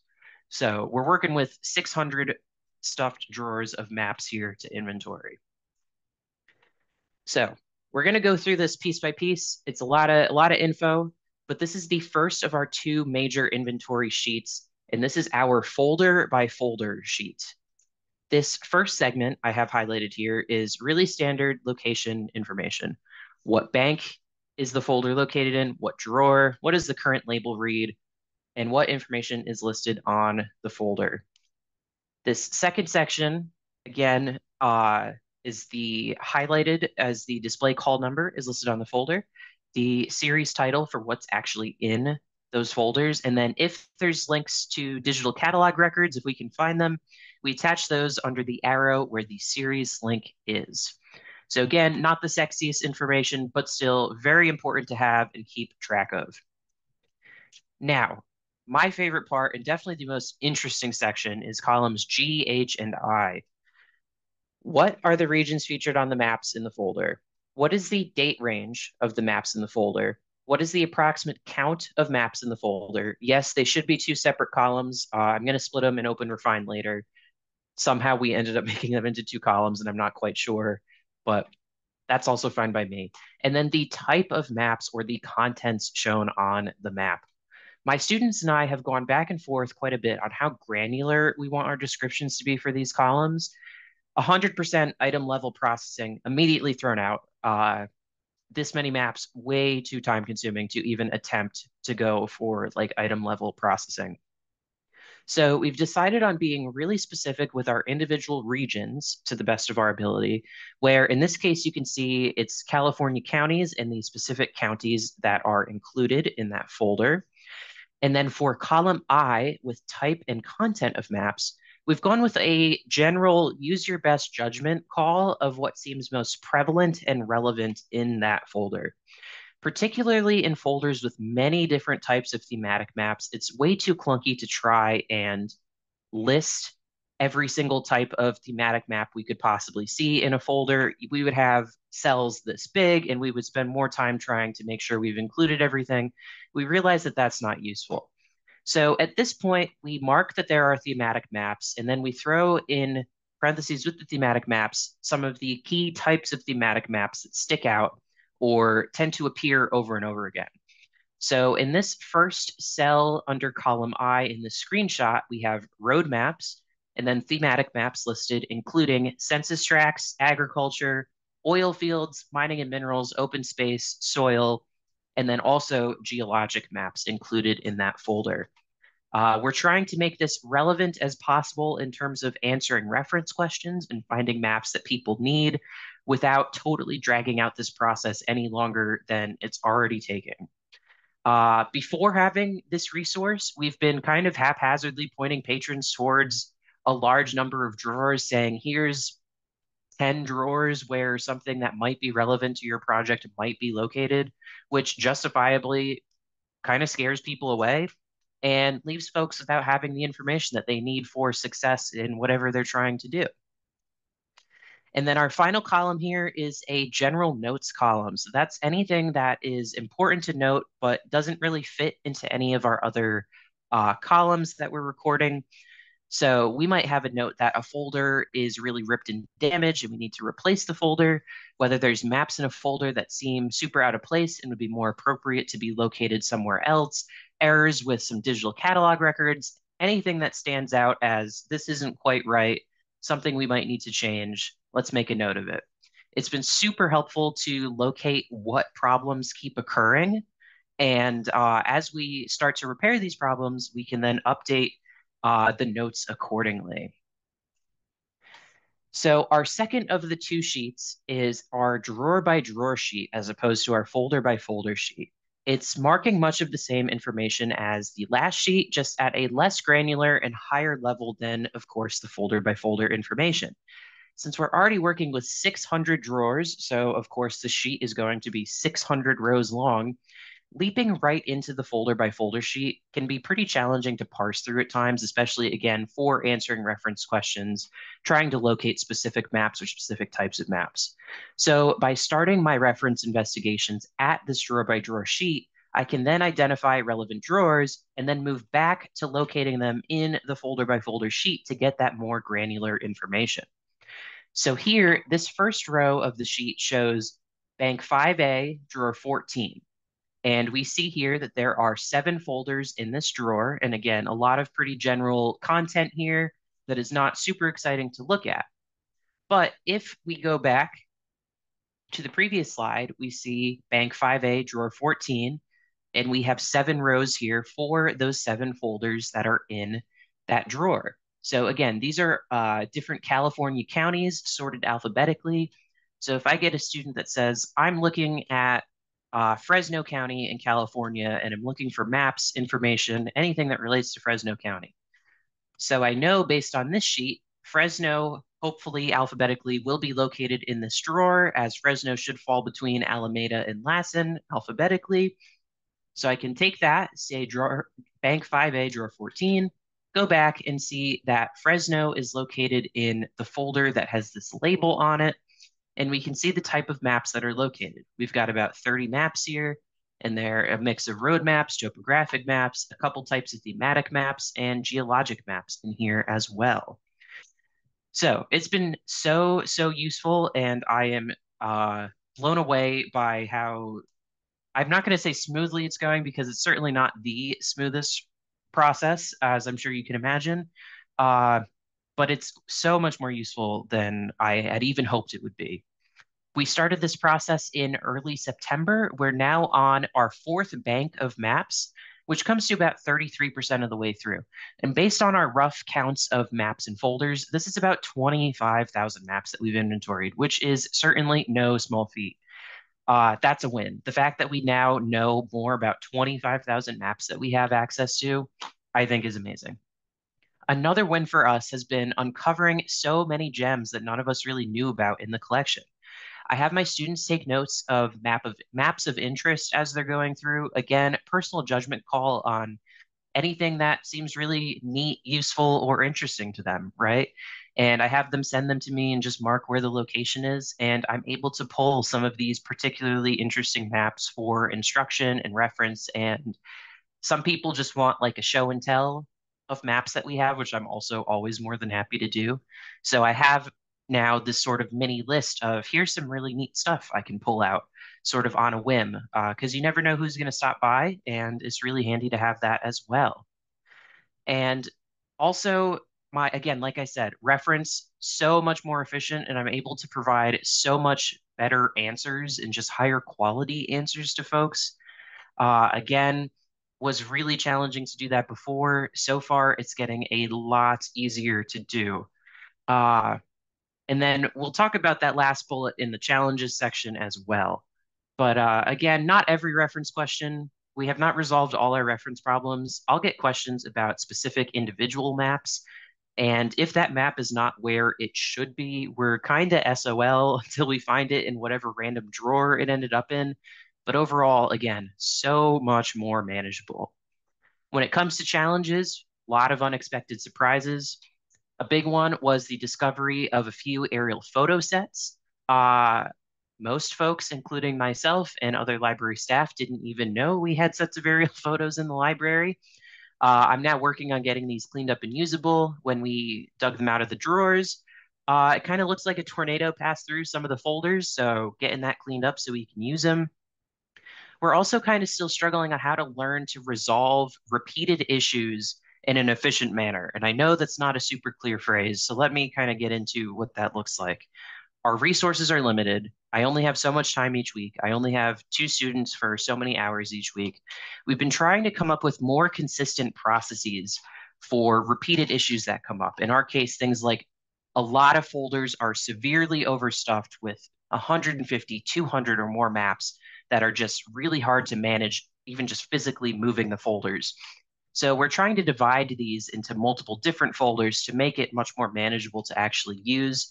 Doing that and figuring out a process that isn't super time consuming for things like that is stuff that we're still working our way through.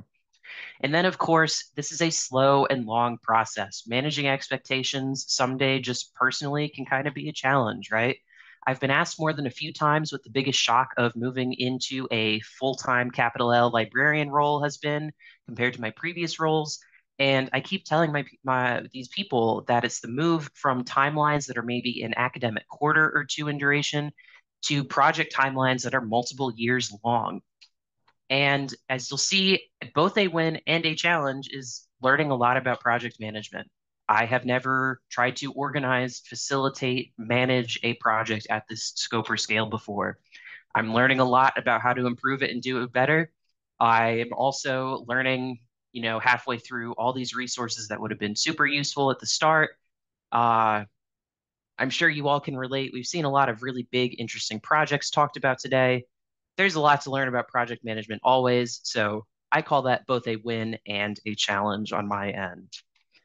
Finally, hopes for the future. Uh, I want to share my hopes and hopes and dreams, starting small, moving big, right? I want to be able to update our signage and drawer labels. A lot of them are not complete. And then our signage is right now just uh, plain text, plain black text on white printer paper that is not very interesting, visual, good to look at. And then the drawer labels, I'm always encouraging students to browse drawers in person, try to get out of our screens a little bit more. And it's great to touch the stuff, as I always like to say. But that's really hard to do as our some of our drawer labels are totally wrong, right? So as we keep going through this project, being able to update these labels to make them more accurate. Also hoping to create some digital catalog records for series that are currently undiscoverable in the digital format.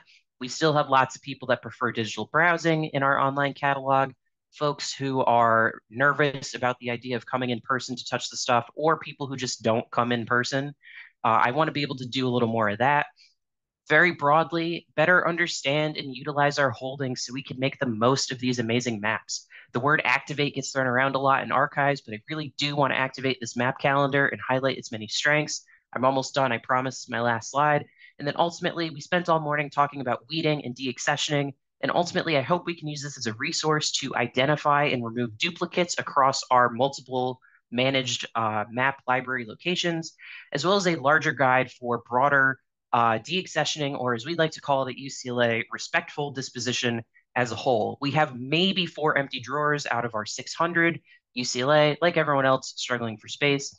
If I can free up a lot more drawers, I hope to be able to actively build and curate this already great collection into something better. So thank you all for your time. And uh, I hope I'll have some questions from you all later on. All right. Thank you very much, Maggie. Uh, moving back into the middle of the country a little bit. Up next, we have Susan Moore to share with us about scaling up, calculating scale for cartographic resources.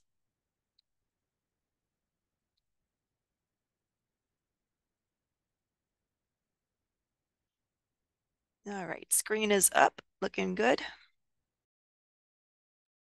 Okay, just momentarily lost my mute thing. So we're we're good now.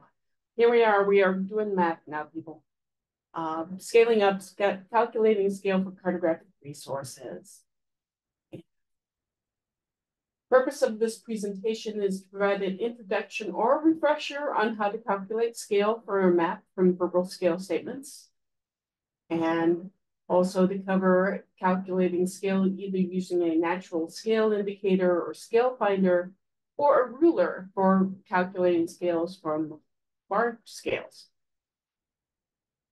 Um, this a refresher scale or scale is always recorded as a representative fraction. Units of measurement don't matter that way. A unit measure on the map is equal to that same measure unit of measure on the ground. So that's why we, we have to do the math. Numerator is always one. The scale statement provides an indication on how detailed the map is, so that's why we do this. The smaller the denominator, the larger the scale of the map, or thus the more detailed the map is.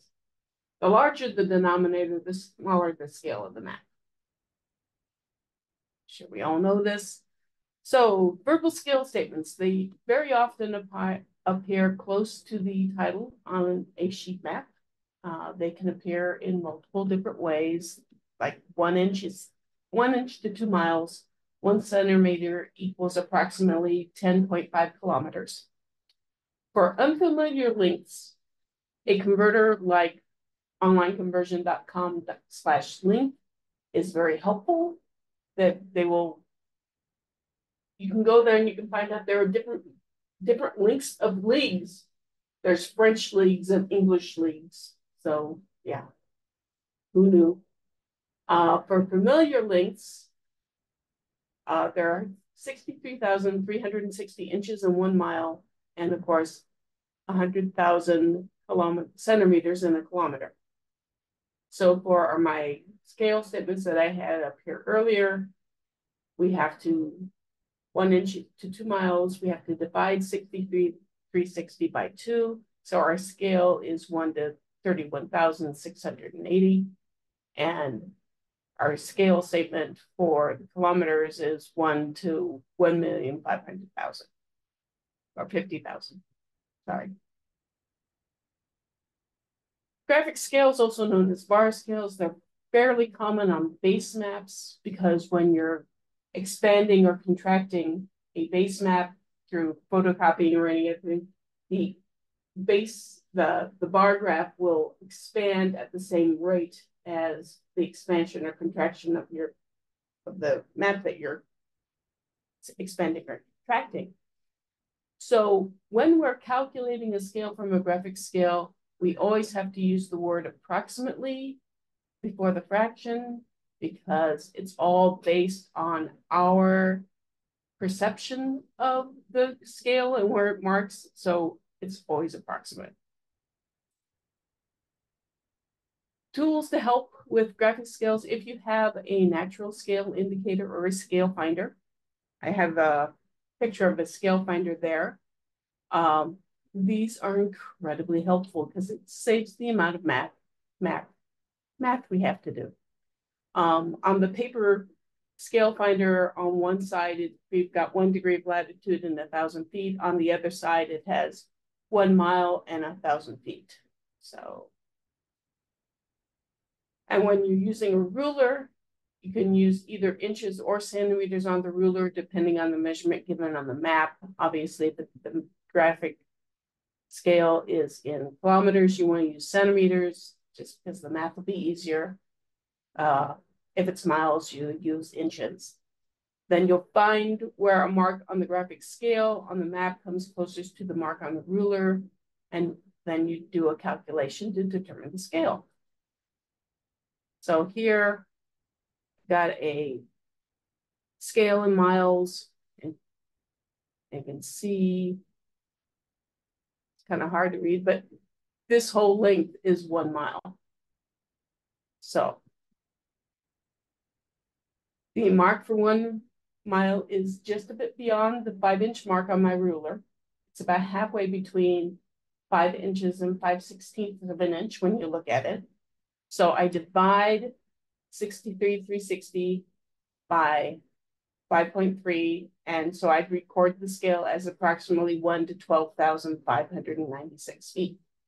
Or, oh, yeah, 1 to 12,596. Using the natural scale indicator, again, you place the baseline at the zero mark on the graph using the column corresponding to the unit of measurement on the map. Find where a mark on the graphic scale comes close to the mark on the scale indicator. Where the marks come close to each other doesn't correspond on the length to be read, math will have to be done. Because what you what mark you select might have a bearing on the result. This is why we use the term approximately in the scale statement. So here we have, once again, my, there's my baseline lined up on zero. And the one mile mark falls somewhere between 12,500 and 12,600. So I'm going to record the scale as one to approximately 12 550. Both of these scale statements are correct because it, it's going to depend on how you calculate the scale. But now you see why we use the approximately and why I keep saying it, that we have to use that for the scale statement. Okay. If there are lines of latitude on the scale, on the map, but there are no other ways to calculate scale, you can use the lines of latitude to determine the scale. If you're using a ruler, the formula is n over 11 million. n is the number of centimeters measured on the map for one degree of latitude. And 11 million is the approximate number of centimeters on the ground for one degree of latitude.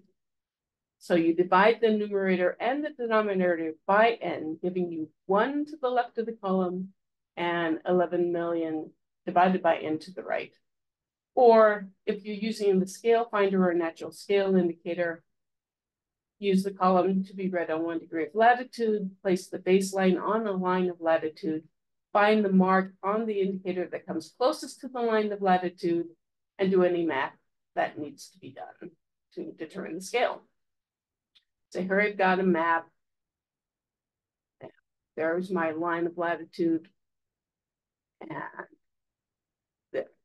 there's, we don't have, I suppose I could try to figure it out based on that, but here's what I did was I went and I used the line crossing at the 15 degree mark. So from zero to 15 degrees is 4.75 centimeters according to my side. So dividing 11 million by 4.75 gives us 2,315,789. Since we, this is for 15 degrees, I need to multiply that number to give us this number, which I'm not going to try to say. Oops. Going back to our, using the scale indicator, we go, um, again, put the baseline on, on zero degrees, and then come down and see where the 15 crosses.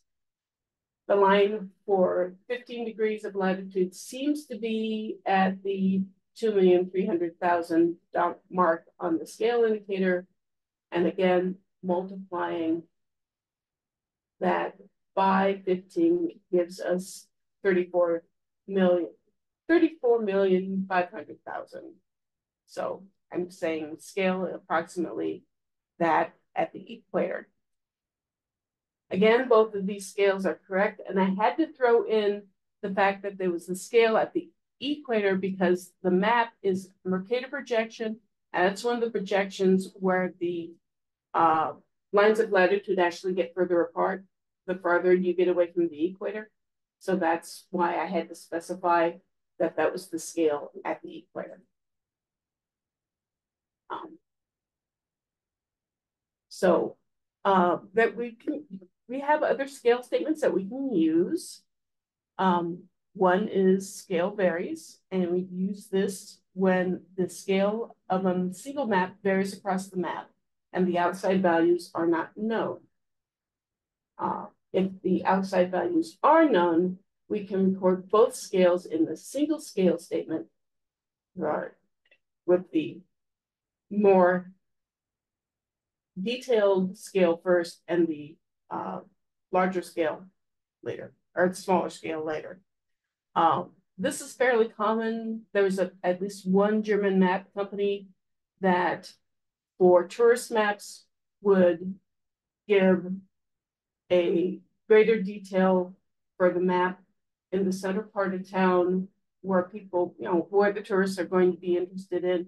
And once they get out to the suburbs, they didn't give that much detail. So that's that's an example of one of those. Scales differ, can be used when there are two or more maps of equal importance on the sheet or in the set, and the scales are not the same.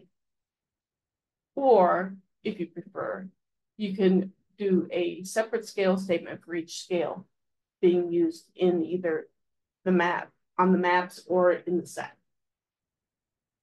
Scale not given, we use when there's only, the only way to determine the scale is to compare the map that you have to a map that has a known scale. And the library policy is not to do so because what you end up having to do is find the same place on both maps. You taking the distance from the scale, the map of known scale, and then comparing the length to the map of unknown scale. And then once again, doing math to get it to figure out what the scale is of the map of unknown scale. Scale indeterminable you use this only when there is truly no way to determine the scale using one of the other methods, including the comparison method. So this is not used very often. Um, you, yeah, uh, excuse me. It's usually only when you have the only map of the area. You only have one map of the area, so you don't have a map to compare it to. Um, it's just, just not, you don't see it very much. Also not drawn to scale is the last scale statement that gets used, and it's used for bird's eye views, map views, maps of imaginary places, celestial charts, and other maps with nonlinear scales, which do not give scale information and which are not drawn to scale. The maps in our ALA programs of the hotels are not drawn to scale ever. so, so I'm actually under time, so we'll uh, move on to the next session.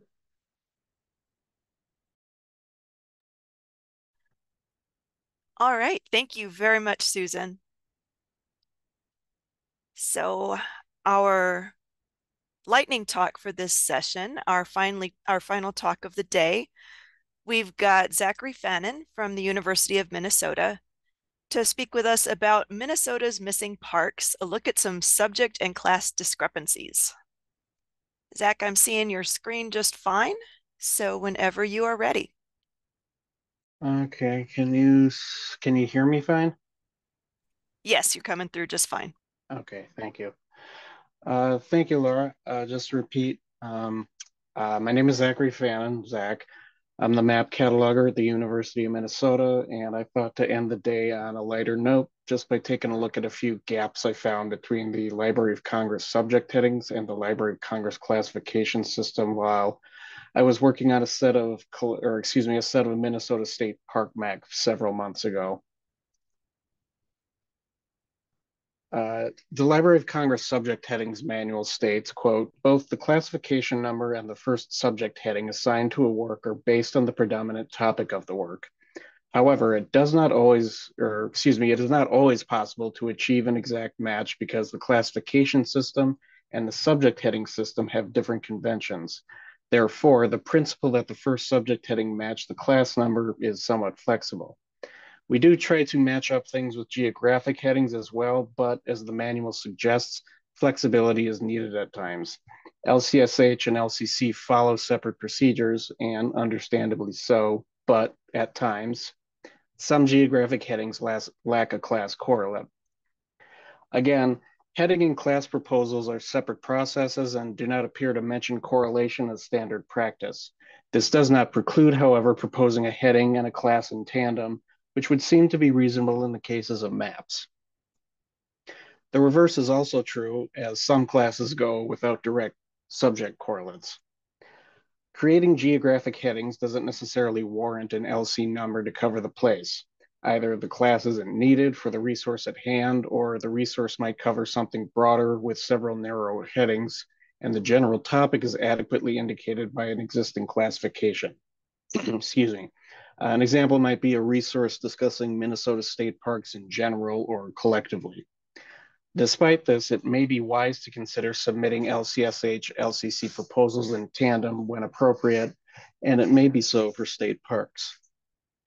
Uh, here's a map of Minnesota's state park system with three parks I've highlighted for quick examples. They include Glacial Lake State Park, located in west central Minnesota, which lacks a subject heading, Beaver Creek Valley State Park in the southeast corner, which lacks a class, and Interstate Park, or Interstate State Park, uh, which is a tad more complicated. Uh, so to see an example of a subject without a correlating class, we'll take a look at Beaver Creek Valley State Park. Here we see it has a subject heading, but nothing where its counterpart in the LCC would be. A possible explanation is that at the time the heading was proposed, a corresponding uh, class was not needed for the resource at hand. For example, it might have been a book on the botanical history of the park, not primarily concerned with cartographic or geographic properties. Uh, now let's look take a look at a reverse situation with Glacial Lake State Park.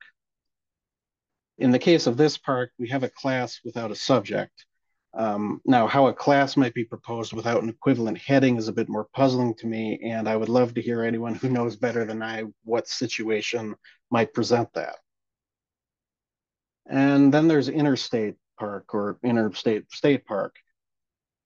A bit of confusion arose when I was working on a map of this park and not only from the name. Adjacent to this park, just across the St. Croix River and the Minnesota-Wisconsin border, is an homonymous park that, with its Minnesota counterpart, forms the collective interstate park.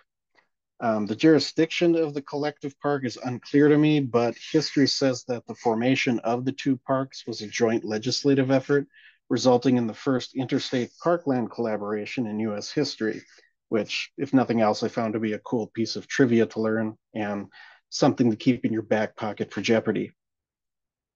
Uh, for quick context, Interstate Park lies about 50 miles north-northeast of the Twin Cities, near the Dalles of the St. Croix River State Natural Area. So what does this mean for catalogers? Well, it means we'll need to be sure of the exact coverage when we encounter a map with any of these geographic elements.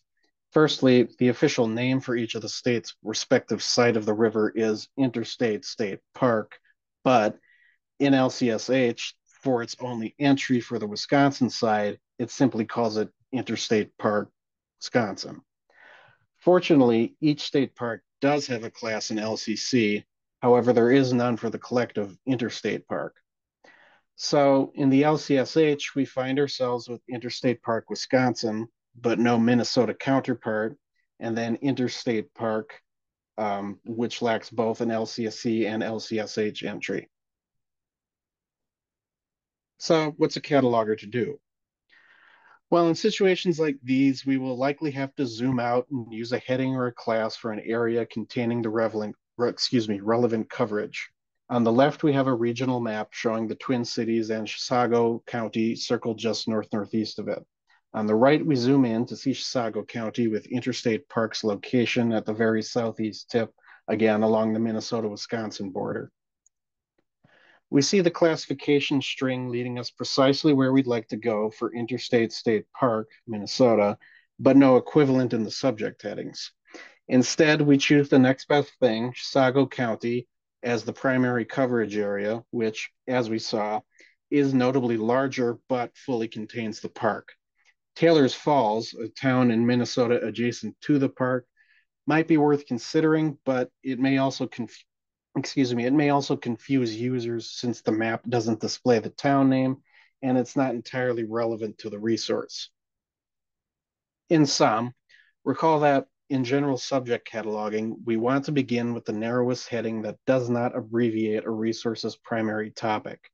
In the case of maps, its primary geographic subject heading should not exclude significant parts of the area covered. This may at times require the cataloger to select a heading that seems too broad, but is nonetheless the narrowest to include all the resources coverage. In the case of the Minnesota State Parks maps, when a heading for a particular park was lacking, I usually selected the county containing the park. On occasion, this may have called for recording two counties with which the park significantly overlapped. In the end, the best procedure I found was to choose a heading or class that did the resource justice hopefully without leading a patron astray.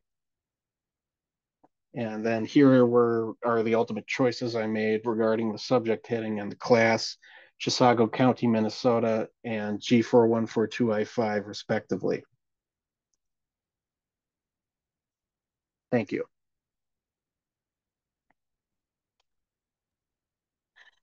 All right, thank you very much, Zach.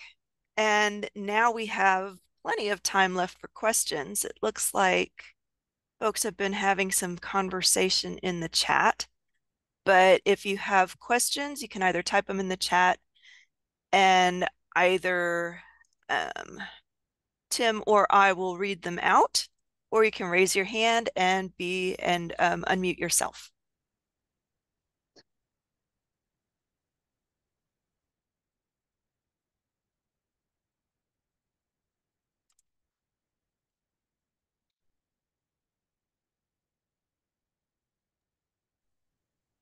I can jump in with maybe some speculation. Oh, Zach, your time is up. I can maybe, uh, I, I have a hazy memory of reading or hearing somewhere that at some point the Library of Congress made contact. Oh, I'm sorry, and this is a question for uh, with regards to or a comment with regards to Zach's uh, presentation. Um, I remember hearing that the Library of Congress had contact had sort of identified a contact in each state who agreed to build out the Library of Congress classification schedule for the, the G schedule for that state, the sort of filling out all of the towns, all of, you know, using their own judgment in um, determining which uh, parks and other entities to assign subject uh, classification codes to.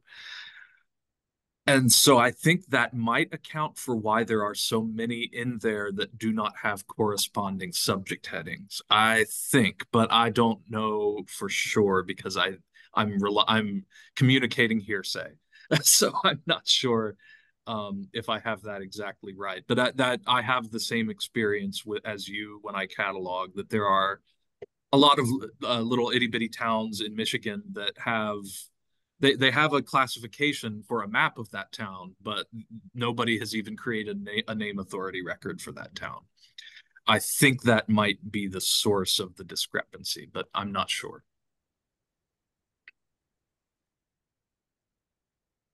And I have raised my hand to verify that yes, that that I I've heard that I have heard that same hearsay, but in in in my instance, I believe it was the former, former, former map cataloger or map librarian here at the University of Northern Iowa that did the Iowa uh, cut, cutters for towns and parks and things. So it may be for, for interstate, one of the reasons it may not be there is maybe the park was formed after that project. It's a theory. That is cool to know. Thank you very much, Tim and Susan. If, if I could chime in too for history buffs, uh, that that is kind of what I heard and what I learned below these many years ago when I was uh, in 2001 when I was at the summer thing at LC, and that there were people. Their complaint at the time was that people were creating cutters for maps that didn't exist. The places existed, but there were no maps. Uh, so for of a small state park, for example, or a small municipal park. Uh, the other thing is, you know, LC for their cutter schedule, they have that uh, PDF, but I could not confirm or deny that that is ever updated. Um, uh, you know, for example, the, in Colorado, we created a, a new county 15 years ago. I don't think it's uh, marked as city county on the list. There is a process to update them. Uh, you get to you uh, actually get to bypass the uh, ordinary process for proposing a Library of Congress classification. You can uh, and I can Chris, I can shoot you an email if you if you're ever interested. Uh, you can ju- I ju- you can write directly to the um, geography and map division with the code that you wish to assign, and they will help you. Uh, they'll help yes. you out. Yes, please. If you could probably send that out to all of us, because I'm sure there's many of us map cataloging geeks that would have a you know a laundry list to send them. So, will do.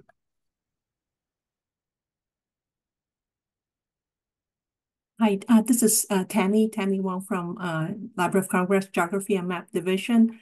And uh, yes, um, we do uh, update the classification web, um, city cutters, and so on and so forth.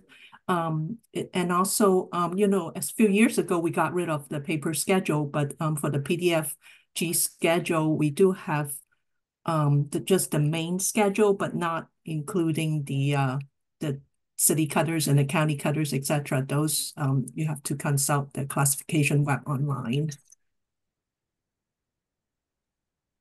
Thank you, Tama. I'm glad you're here. You're you're often the person responding when I when I, when I send in my submissions.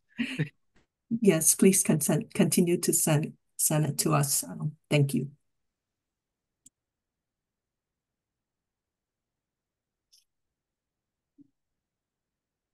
All right. Any other questions, comments? Just to follow up, this is Min. Uh, if you need a classification cutter for place name, just send to mapcat at lc.gov. And what uh, our workflow is, uh, yeah, Tammy is the main main person to uh, input all the classifications, but uh, each cataloger is um, assigned for a specific area. So they will be familiar with that, supposed to be familiar with that region or country. So um, when we receive a request, we assign to the cataloger who is assigned to that region. So that, um, I think when Tim submitted uh, all his requests, uh, fortunately, mostly fall um, under Tammy's um, responsibility. Well, thank you so much. I hope that clarifies the, uh, you know, the situation. Absolutely. Thank you very much, Min and Tammy. Good to see you here. Sure. We learned a lot.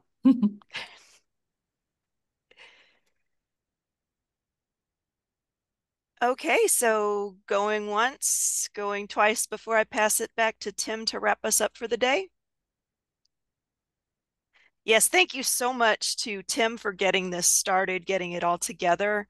Thank you all of y'all for showing up. This has been a great turnout.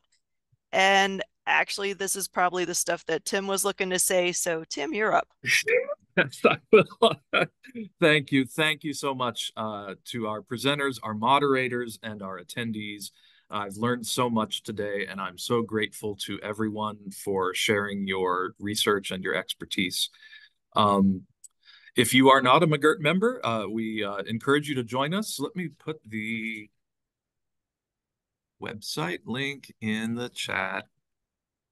We're easy to find on Google. Uh, like many library organizations after the pandemic, we are looking to build our volunteer base uh, so we can maximize our effectiveness uh, in supporting our profession. Um, if you are attending ALA in uh, ALA Annual in San Diego this June, uh, please look for us. Uh, we'll have programming and social events, and we'd love to see you. Um, with all that, uh, oh, there's Paige, recently retired, uh, uh, enjoying his. He's he's all the leisure time in the world, and he's he's coming to a MAGIRT conference. so thank you again, everybody, and until next time.